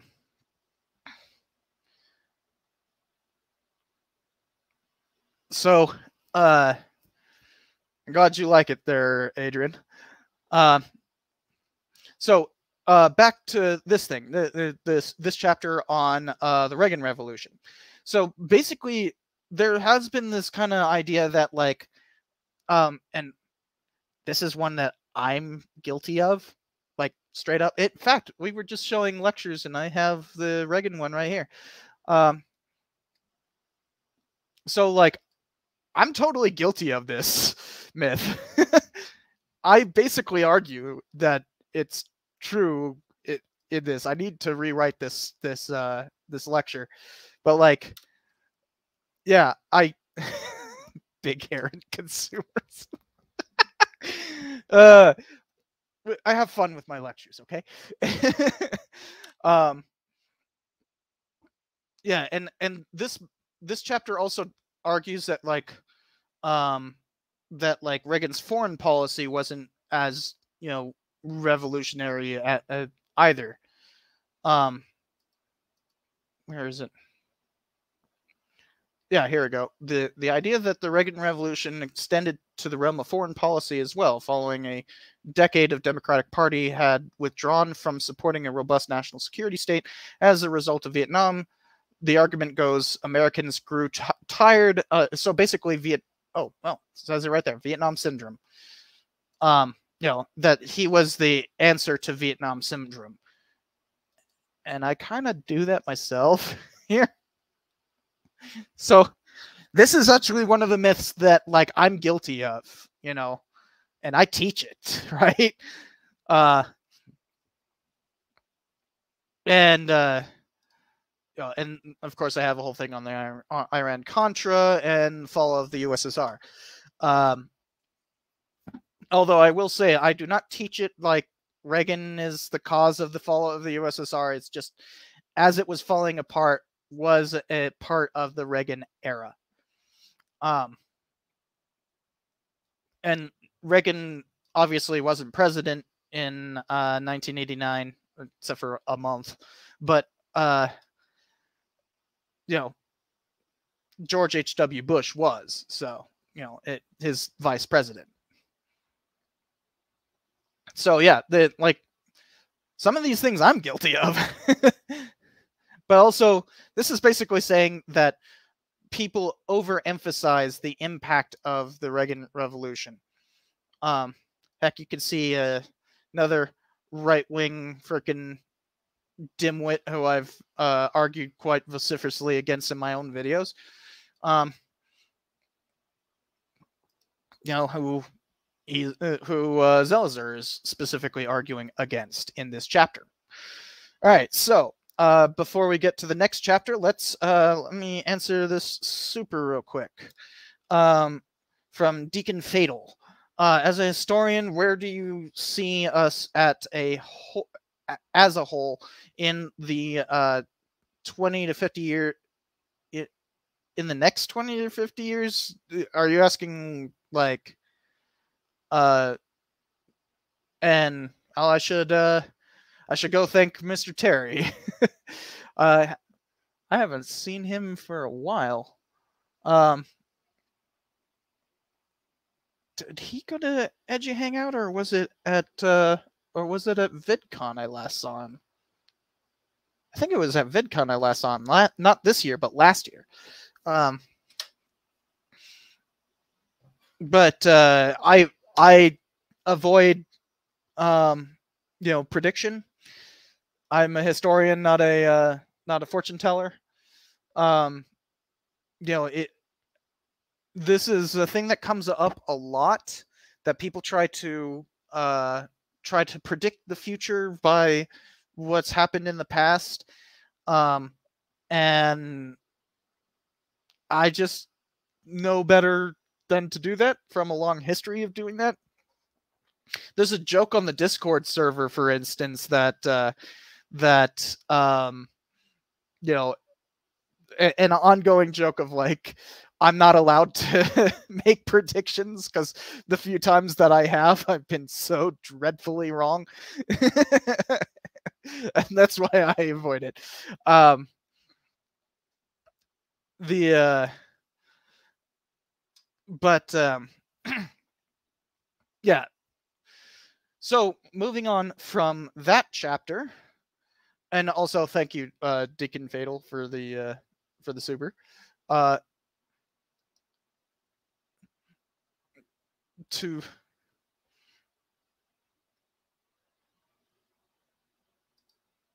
I mean, yeah, he's my dad.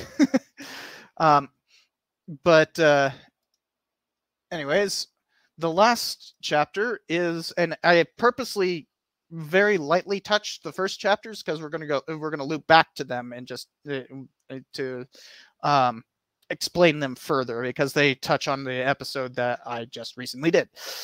So let's uh let's finish this one out with the whole idea of voter fraud, right? You know, this is the most recent myth that they're covering. And so um just to quote the thesis statement, although it's a pretty long one if I remember correctly. Yeah.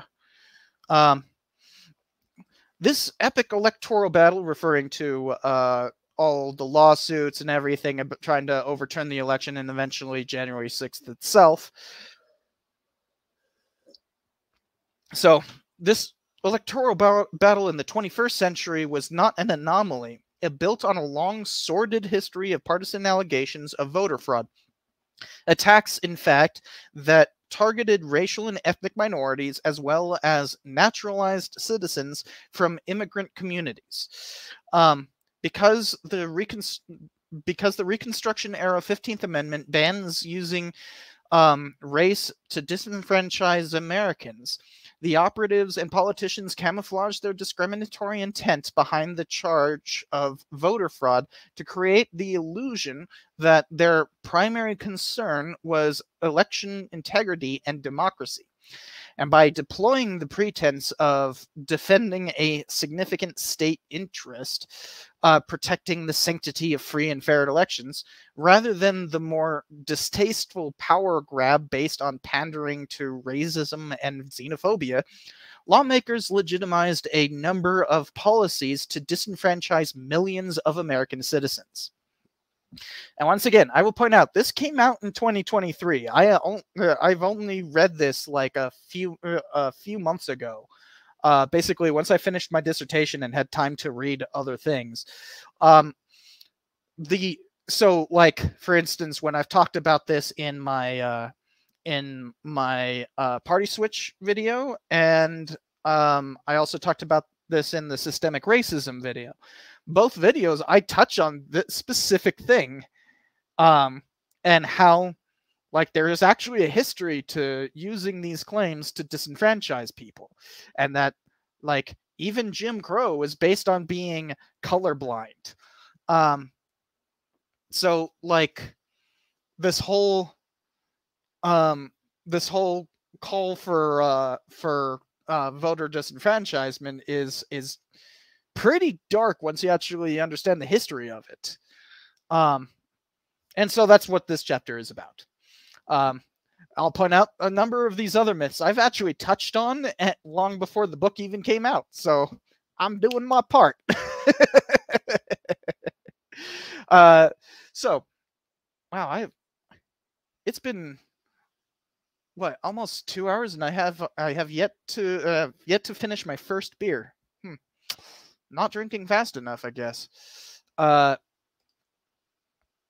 so let's see here we were uh, I wanted to loop back and specifically talk about the American exceptionalism one uh and the founding myths one. Um so the American exceptionalism one uh so firstly interesting thing do you know where the term American exceptionalism comes from? It's like is Joseph Stalin. Like no joke. Joseph Stalin created the term uh the the term um so this chapter is interesting though. So what it does is it talks about like okay, what do we mean by American exceptionalism? How is it used? Um but then the second half is talking about how um the idea of American exceptionalism has been this like political football for a while, especially created by Newt Gingrich. Um, so this one doesn't exactly have a thesis statement. And it's another reason why I wanted to loop back to it. Because um, I I hit on pieces of this, right? Um, so like I talk about how um, it, you know the whole idea of american exceptionalism doesn't really make a lot of analytical sense right? Um it's it's useful more to talk about people believe that the us is exceptional rather than like actual exception. Um so uh this guy's talks about how like from the moment Europeans arrived on American shores, they created they crafted stories about their special destiny. Although here's an interesting little mistake that I've made before, um, and this points out um, the term is not shining city on a hill, it's we shall be as a city upon a hill. Ronald Reagan return, rephrased that as shining city upon a hill from his uh, from his uh, 1980 uh, day before election speech thing.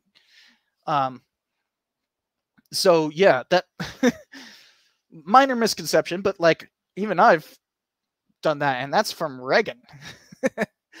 uh, you know, then says the insistent attention on uh, to Puritans of New England tends to eclipse the fact that the inhabitants of all the British colonies and their successor states imagine themselves as Romans at least as often as they saw themselves as Israelites.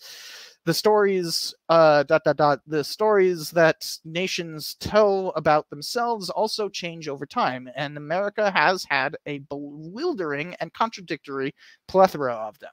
So this one's literally talking about American character that that like foundational myth of the entire history profession this one's talking about that. And so that's like you might remember in the 10 founding myths that i just recently did uh, i talk about the whole idea of american nationhood and uh, the turner thesis. Uh, that's actually in here um, somewhere but uh, but only briefly um, I'm just uh, I love to harp on Turner because I'm a Western historian, so you know it's, it's just kind of what I do. uh, but like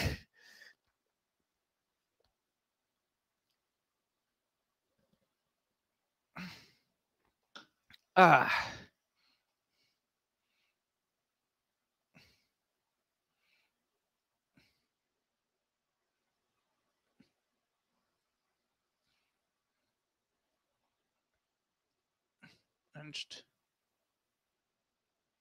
Oh, um. Anyways, the uh, so this first part of the chapter is about like how Americans have seen themselves as like an exceptional, uh, a different character, that national character myth, right? Um, basically the foundational myth to nationalism. Um, but like how it's been used in different in varying ways. But then it shifts to talking about how like Gingrich took the I the the uh, Stalinist idea of American exceptionalism, basically trying to explain why like the U.S. doesn't have uh, the uh, the Communist Party of the United States of America, CPUSA, uh, which was actually like funded by uh, the uh, partially funded by um, uh, foreign agents, by Soviet agents. Um, and, uh, you know, Stalin wanted to know why it wasn't working, right? Um, and he basically, uh, one of his, uh, it, it comes up earlier here. Where is the stuff about Stalinism? Blah, blah, blah, blah. I don't think I highlighted it. No, this is just creation, character myths, blah, blah, blah.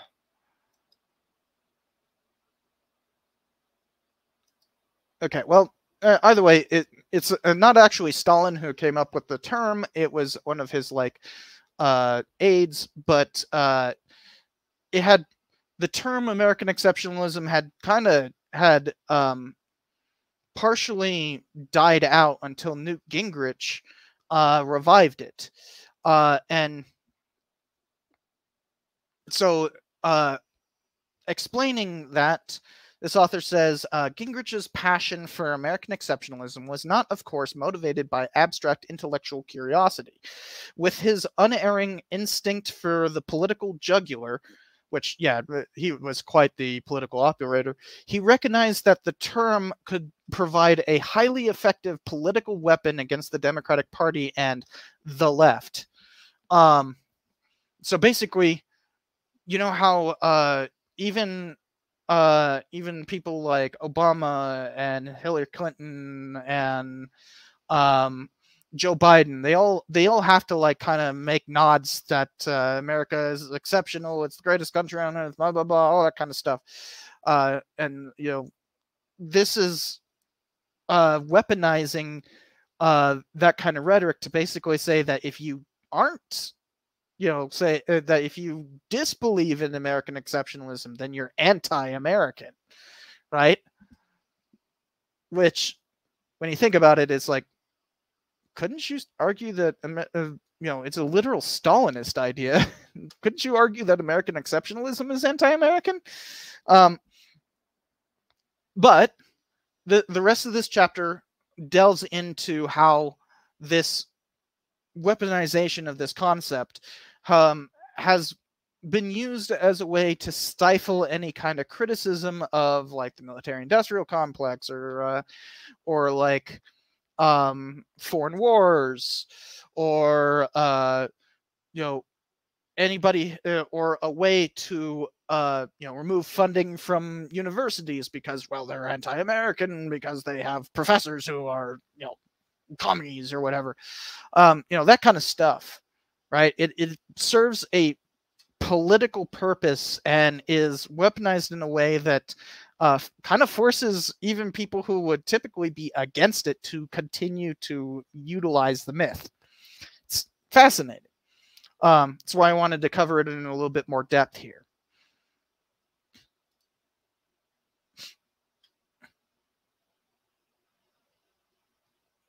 Um,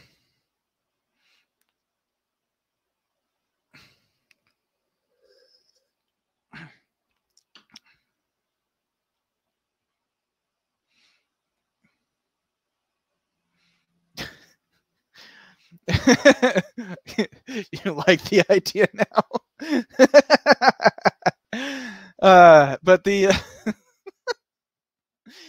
Anyways, let's move on to the chapter that is literally called Founding Myths.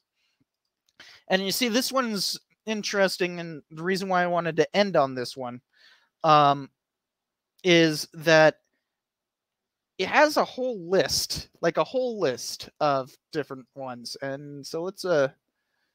Oh, why won't you allow me to. Ah. Literally won't allow me to make the uh, text bigger. Anyways, so I think it's five myths, if I remember correctly. Yeah, so five myths that it specifically debunks.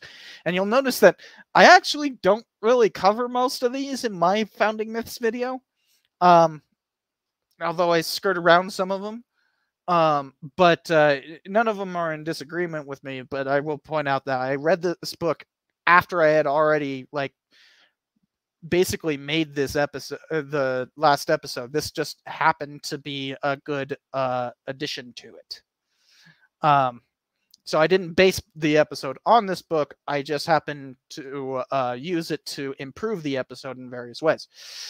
Anyways the five myths he busts here uh or i don't i don't actually know if that's a male or female name is aquila a dude or a? I should look that up. It's a dude. Okay. um. anyways, the uh, the the five myths he busts are uh, myth number one: James Madison was the father of the Constitution. No, that would be George Washington, and paternity matters because yeah, actually, George Washington was the uh, president of the uh, uh, of the Constituent Assembly, uh, formed in 1787 to create the Constitution. So it wasn't actually James Madison; it was uh, mostly directed by uh, Washington. Um, myth number two: the key Federalist essay is Madison's Federalist Number Ten. No, almost no one read that Madison essay in the 1780s, uh, or indeed in the ensuing century. The key Federalist essays um, in the ratification era were John Jay's and Alexander Hamilton's number two through eight, explaining Washingtonian and geostrategic essence of the Federalists' plan.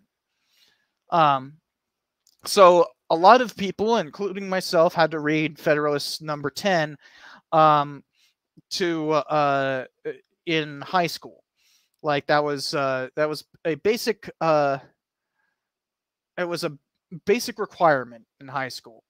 Um, and yeah, I don't remember what it was about off the top of my head, but uh, turns out Federalist number 10 wasn't as important as everybody makes it out to be.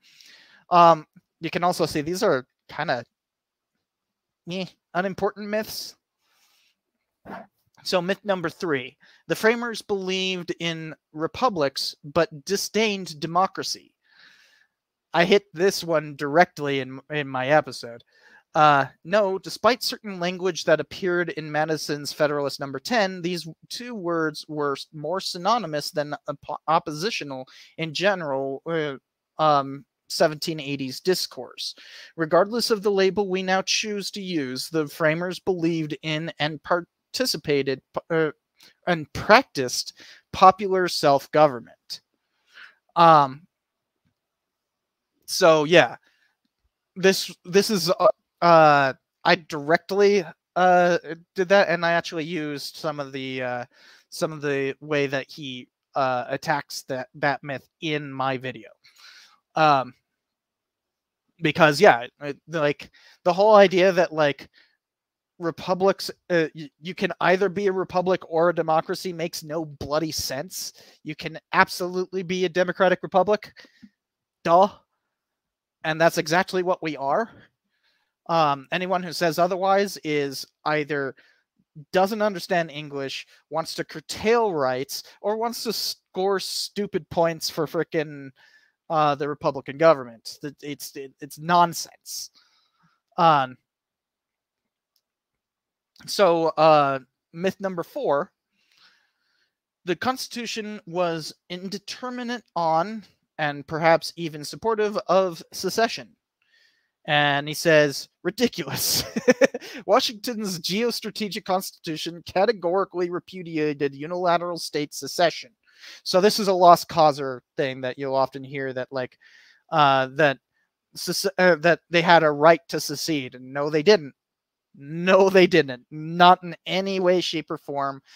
Uh, the Supreme Court did eventually actually rule on that in 1867, obviously after the war, but no, it, it's absolutely ridiculous to think that like there was a right to secede built in the Constitution. Absolutely not.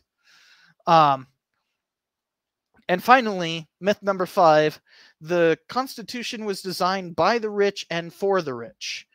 Um, and this is one of those ones where it's like, not really? The document was just what it said it was a text ordained by the people, not by the property. Um, and you'll notice that he says beard is bunk here.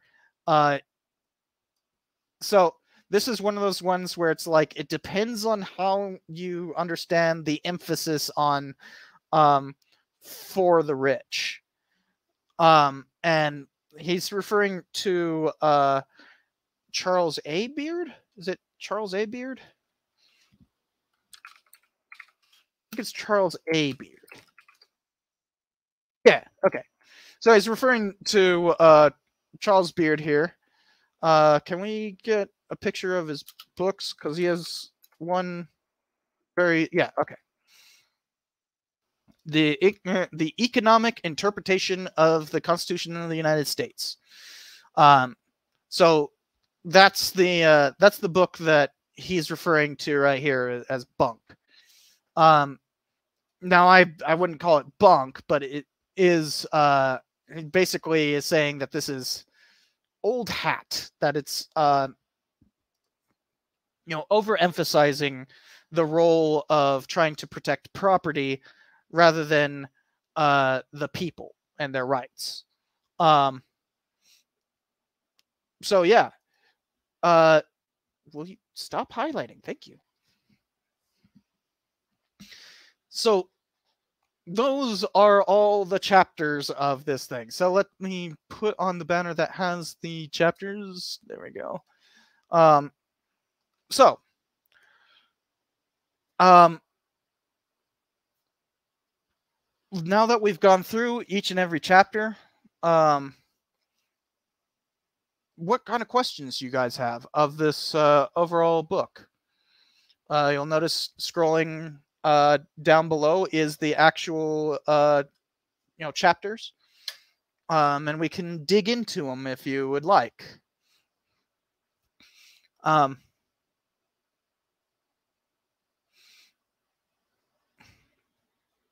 is used a lot by people who think the Constitution isn't worth reading. Yeah, I, I see a lot of people. Uh, I see a lot of people doing this specifically, where they're trying to be like, you know, the Constitution is BS. It's made by rich people to protect rich people, and it's like, it's not really. Um, is there any section you feel could have been better? Uh, yeah. Uh, especially the two that are on, um, on the New Deal. So Eric Rauchway. Uh, I don't know how to say that. Your, your uh, comment is blocking it. The New Deal one, that one, eh. Also, I'm. I, look, I'm a cultural historian, so I'm going to be. Uh, I don't really like reading economic history, so I also just didn't like reading it. Um, and uh, and uh, the Great Society one by Joshua Zeitz. Um, both of those were pretty lame. Gotta say, those are those were both uh could have been a lot better, especially if they had any like actual storytelling. Like you got to tell a story. Um, um,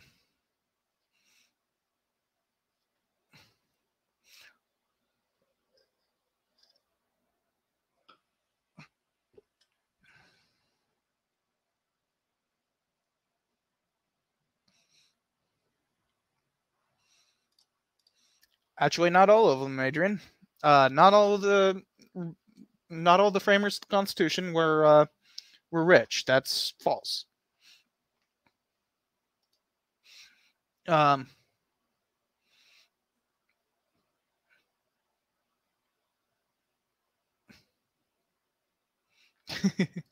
economics. Ew.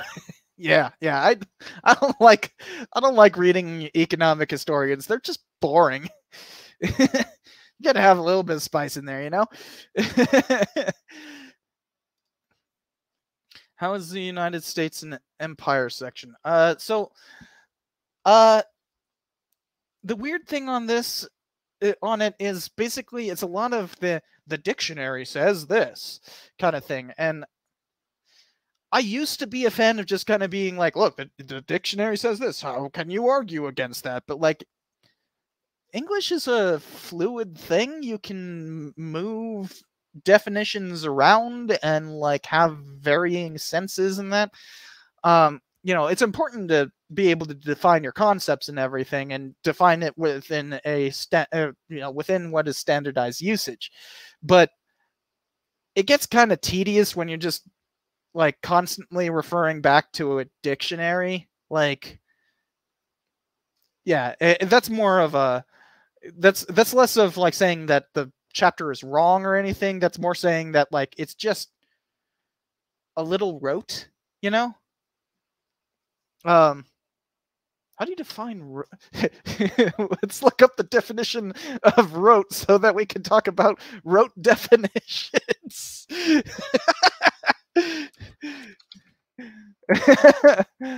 Uh, I don't know why I find that so funny. I've only had one beer, and I haven't even finished it. I'm about to finish it though. Um, define rote. I believe it's spelled like that. Yeah. Ah, mechanical or habitual repetition of something to be learned. There you go. Yeah. rote. def- uh, just go straight to the dictionary to complain about dictionary usage. uh, I don't think I need to be sharing the screen anymore. I'll go back to full screen it. Um, but yeah, the the Empire sections is pretty rote. Um,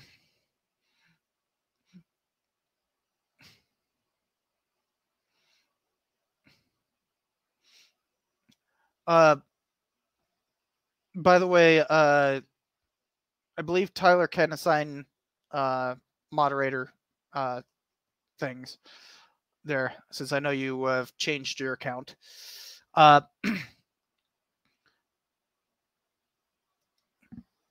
uh, for in, well, let's just look up the uh, then let's look up the actual uh, uh, Framers of the Constitution.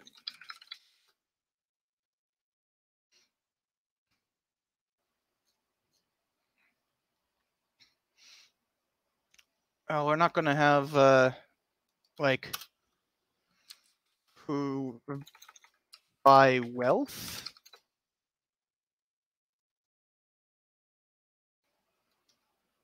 There we go. Here's an article.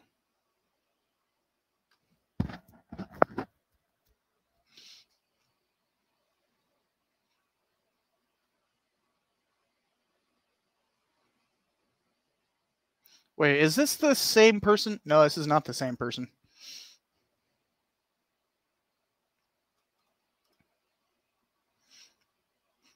Doo -doo -doo. Wait, why am I why am I looking up articles? I could just go straight to the book.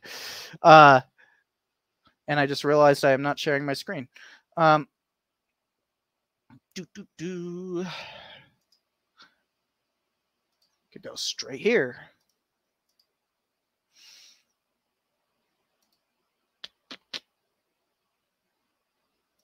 Yeah, okay. This is going to take forever to. You can read the chapter, but there are there are indeed framers who were poor.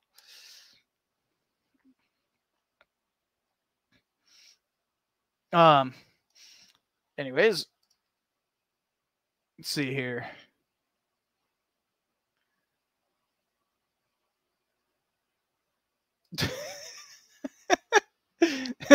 How many history books are titled alternate economics? None. Therefore, economic history is boring. um,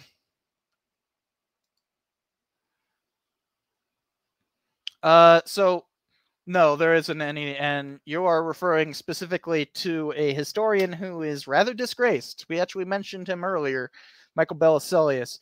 Uh, best not tread those waters. the profession has learned its lesson. Um,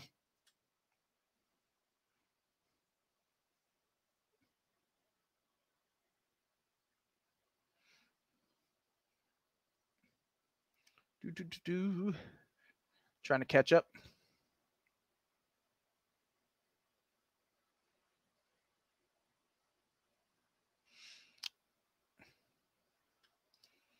Where was Thomas Paine in all this? If you're talking about during the uh, uh, framing of the Constitution, he was back in Britain. He moved back in uh, like like 1786, 1785, somewhere around there.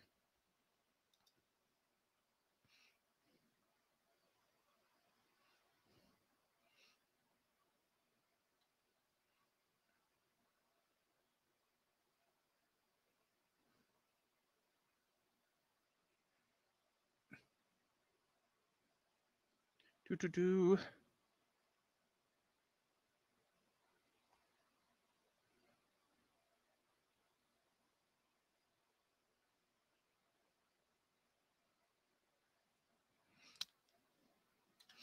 All right, I th think there isn't any other questions there. Um,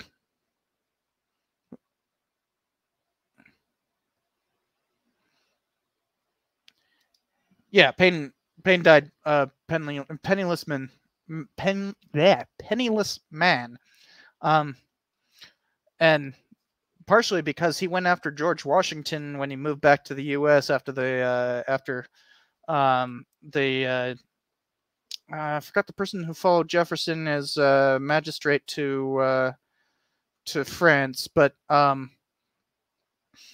uh, whoever that was got him out of prison because he was actually on the chopping block for the guillotine. Um, and he came back, but then he it's Thomas Paine, he's always got to be complaining about something, right? And so he started going after uh, George Washington, who was president at the time, and um, and yeah, like nobody really forgave him for that. Yeah, they they really hated him for that. and so like Nobody even attended his funeral. Like literally it was like a slave he freed and uh and like uh you know a caretaker or something like that were the only people at his funeral you know this person who was a founding father and like more responsible uh, the person with who was most responsible for planting the idea of independence and that hereditary monarchy was wrong um died penniless and completely ostracized. Um,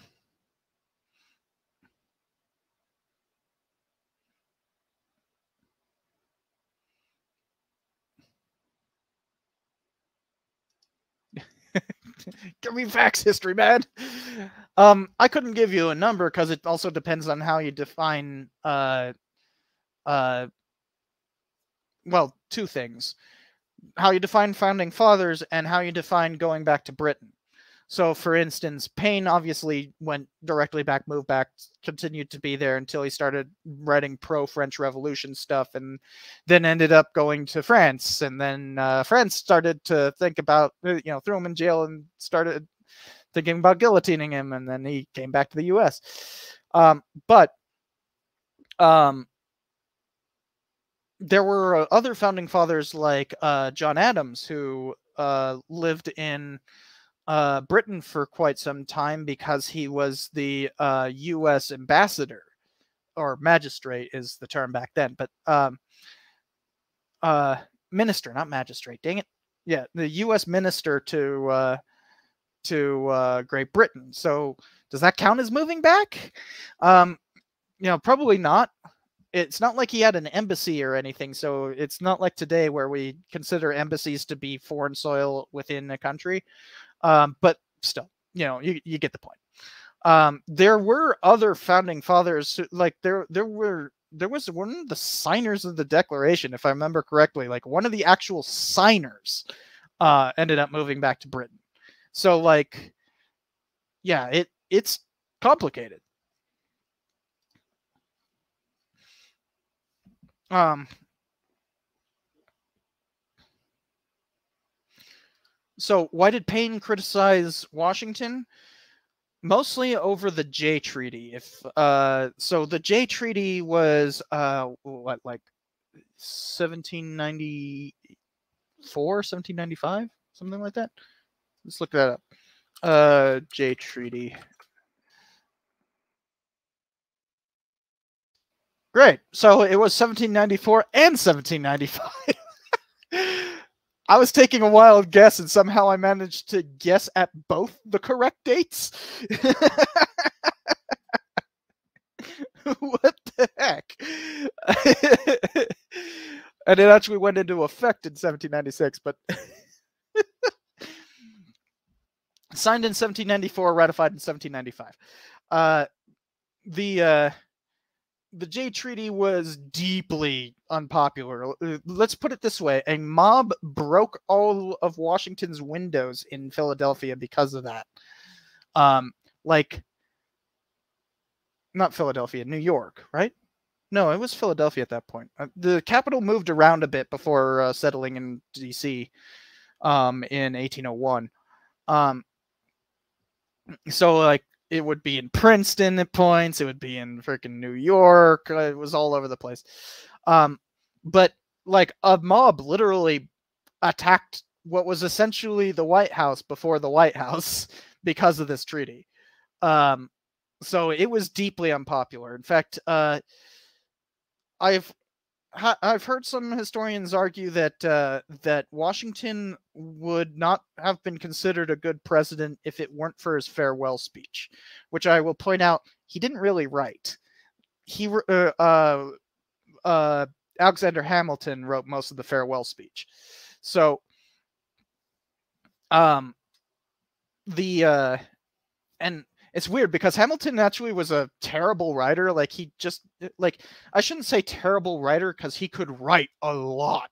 I mean, like he wrote like like two thirds of the uh of the uh of the Federalist Papers, which all came out over the course of like what three months, something like that. Three or four months. So like dude could write. But he couldn't write well that was the problem. He was a he was a pedant. He was a freaking uh. Well, let's put it this way: he was the first person. Uh, he was the first uh, Secretary of the Treasury. So, as in like economics, and we just uh, we were making fun of uh, e- uh, economists and economic historians' inability to write earlier. So the same goes for Alexander Hamilton. Yet somehow, the uh, the farewell speech is incredible. Um, and it basically, in one fell swoop, uh, by the way, most it wasn't perceived as a like spoken speech for most people. They just read it in in newspapers, you know. Um, but uh, that that farewell speech is kind of what rejuvenated Washington's uh, uh, legacy. Otherwise, he probably would have been remembered as a pretty bad president, actually. Um, so yeah, it's one of those things where, you know, leaving people with a good impression matters a lot.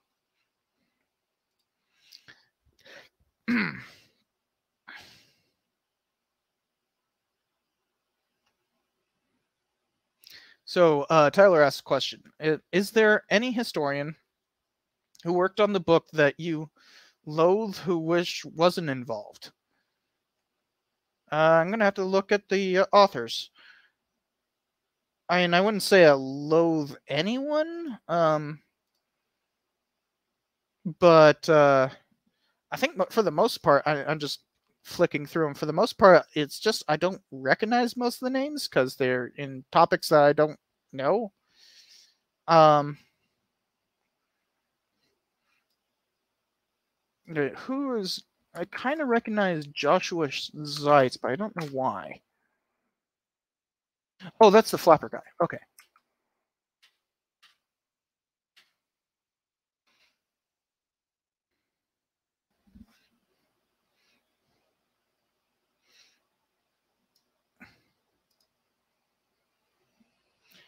Yeah, no. I mean, some of them I even recognize from books that I've used before. So, for instance, there is, uh, you know, Kath- Carol Anderson. I used her book about, uh, I used her book about, um, like, here, we could probably find it just in my, uh,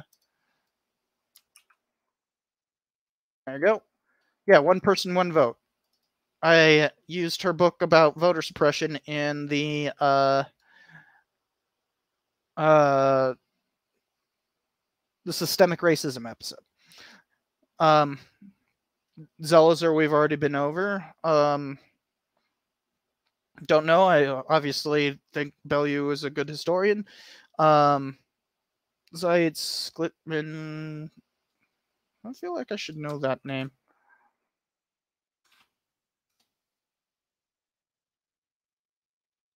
Yeah, I don't recognize that at all. Um, Carol Cox, I recognize. Erika Lee, I've I re- like her work. Uh, a lot of these I just don't recognize, so I couldn't tell you. Pro- probably no one. Wonder who is this? I, I should recognize that name. I think.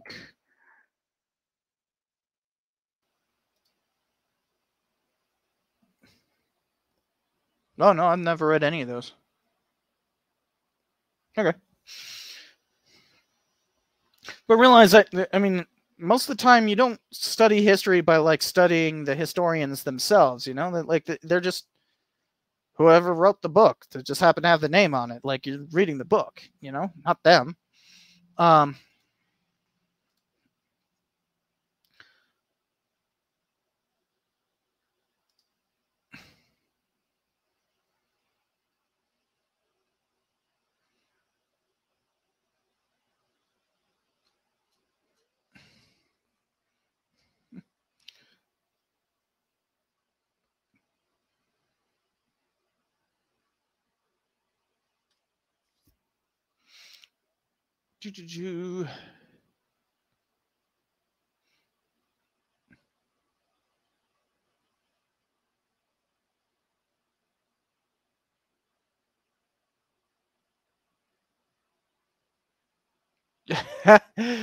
so there's a so there's a uh, a uh, di- uh, uh, not Discord uh Twitch thing where you pay uh, where you spend points to um to uh get a particular action and everything and one of them is uh to uh show the cat the only problem is king is not in the room right now he got annoyed with all my talking um so uh, I have to actually go and grab him now because that is part of the uh, part of the thing. So I will be back in just a second. oh, actually, I'll get up. I'll grab King, and I will also grab a uh, the the book from uh, the uh, the editors of this book, which would be perfect. So I will first put on this little uh, uh, well, I'll be back thing, and I will be back.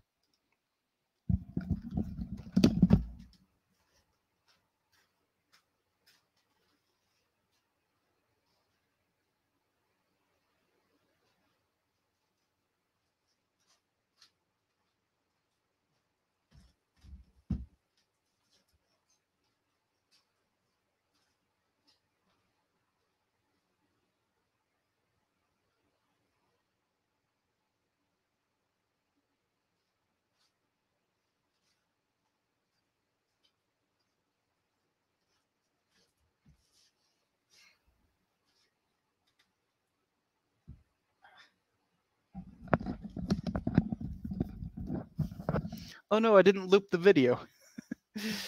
uh, King's like, I don't want to be here. I just woke him up by uh, he was sleeping on the bed. Um, but here's King. yeah. Wow. No, no, no. Go there. Go there. There you go. There's King. Um. Yeah, he he was sleeping on my bed, so um, he's like, I don't want to be here. But I also had the opportunity to go and get the book. See, this is the book I was talking about. The that um, fault lines. I actually took a class that was called 20th Century Capitalism. It was mostly about the rise of neoliberalism. Um, but this was uh, one of the books that we read for that class. Uh, let me see, because this is more like a textbook than a than like a monograph or something. So it's not. It doesn't have like a thesis per se, but I think it does kind of have like a main argument. Yeah. Okay. So uh, on the uh, introduction thing, they argue uh, Zelizer and oh, I just realized it is showing the wrong banner. Um, the uh, but in this book, the same authors as the book that we, uh, the same editors, because realize they edited the book and were not only authors of certain chapters. But in this book, they argue um, these three basic fault lines of division, fault lines, um, the economic, racial, and political lines Obama outlined, plus a fourth line on gender and sexuality, had always been part of the national experience. A, uh, skipping forward, a robust federal government a thriving middle class uh, economy and a powerful union movement had each, in its own significant way, ameliorated these sources of division. Moving forward, rather than seek to find new sources of agreement, the nation reconstituted itself in the 1970s and the decades that followed in ways that augmented and institutionalized these lines of division.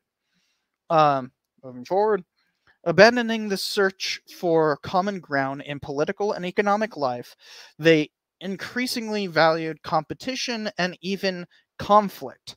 From the 1970s on, the United States would seem less and less united with each passing decade. So, yeah, I actually use this book uh, pretty heavily in my uh, in my neoliberalism episode. Um, because this is one of the few books about neoliberalism that actually brings it to the present, um, which is rare. Um, and I think I even mentioned the book in my dissertation. uh, yeah, I, I think I do. But so uh right conflict and oh you're talking about Kevin Kruse i think i know which book you're talking about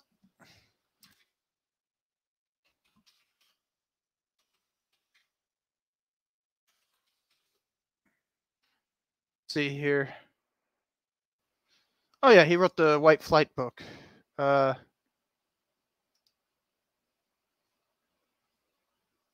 Fog of War, I've used that one before too. I've actually used a bunch of his books.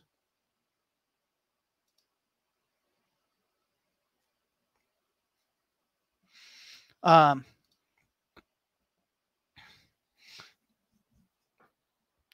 if I'm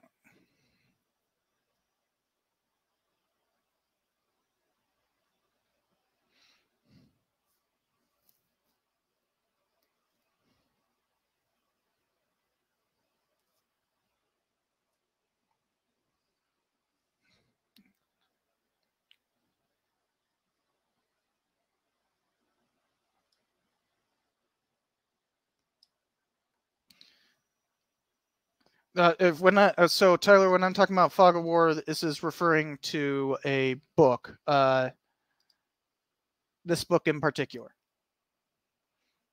um, which I believe I have digitally. Hold on, let me look it up. Uh, I th- think I have it either digitally there or is it here?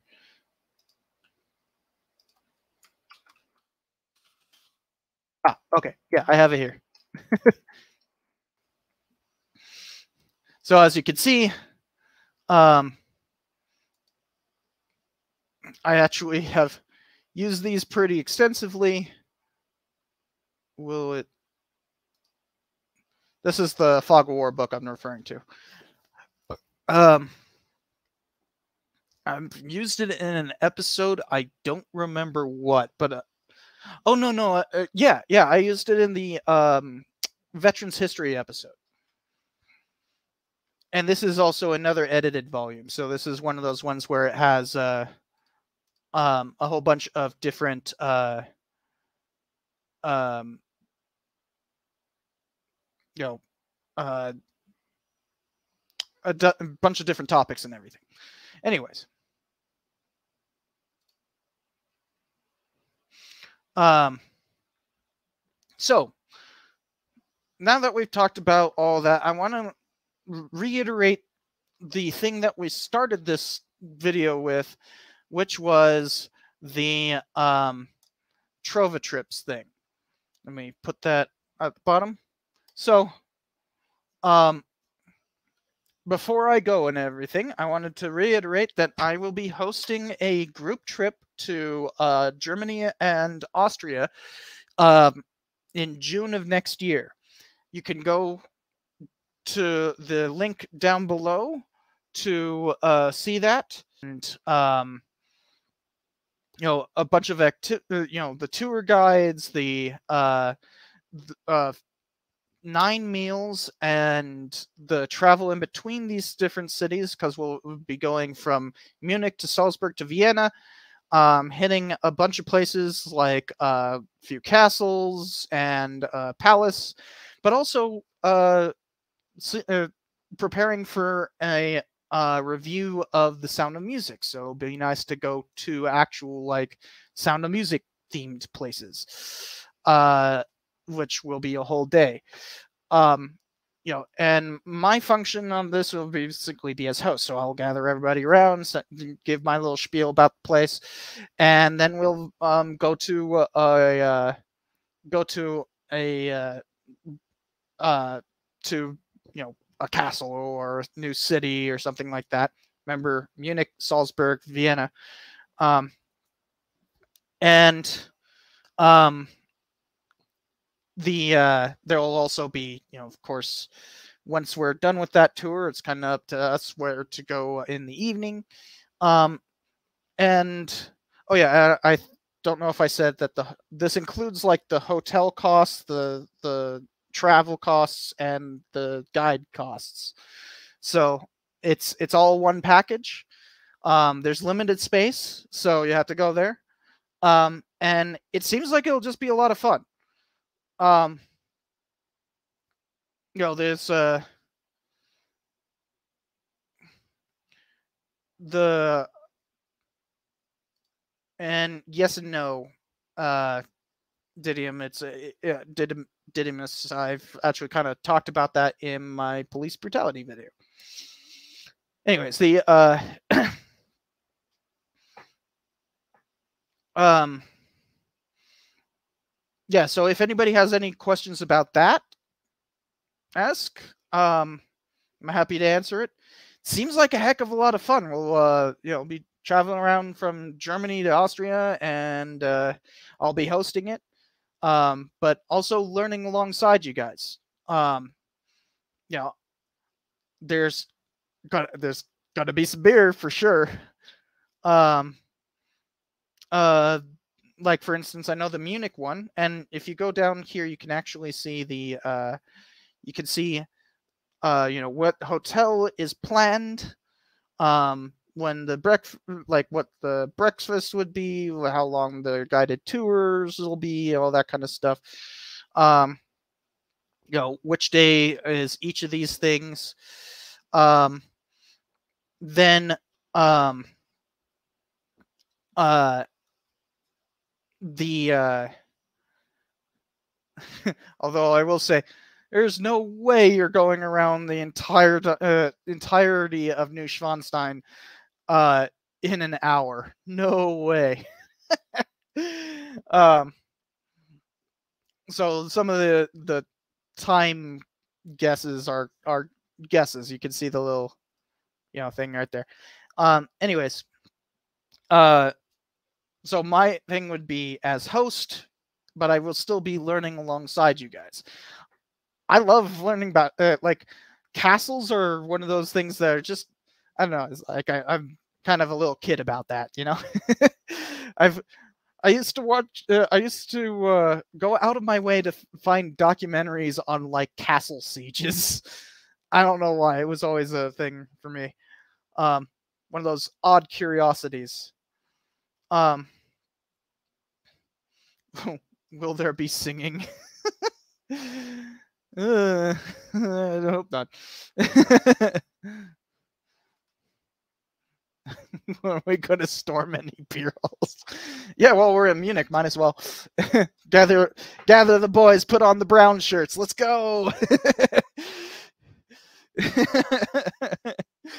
um.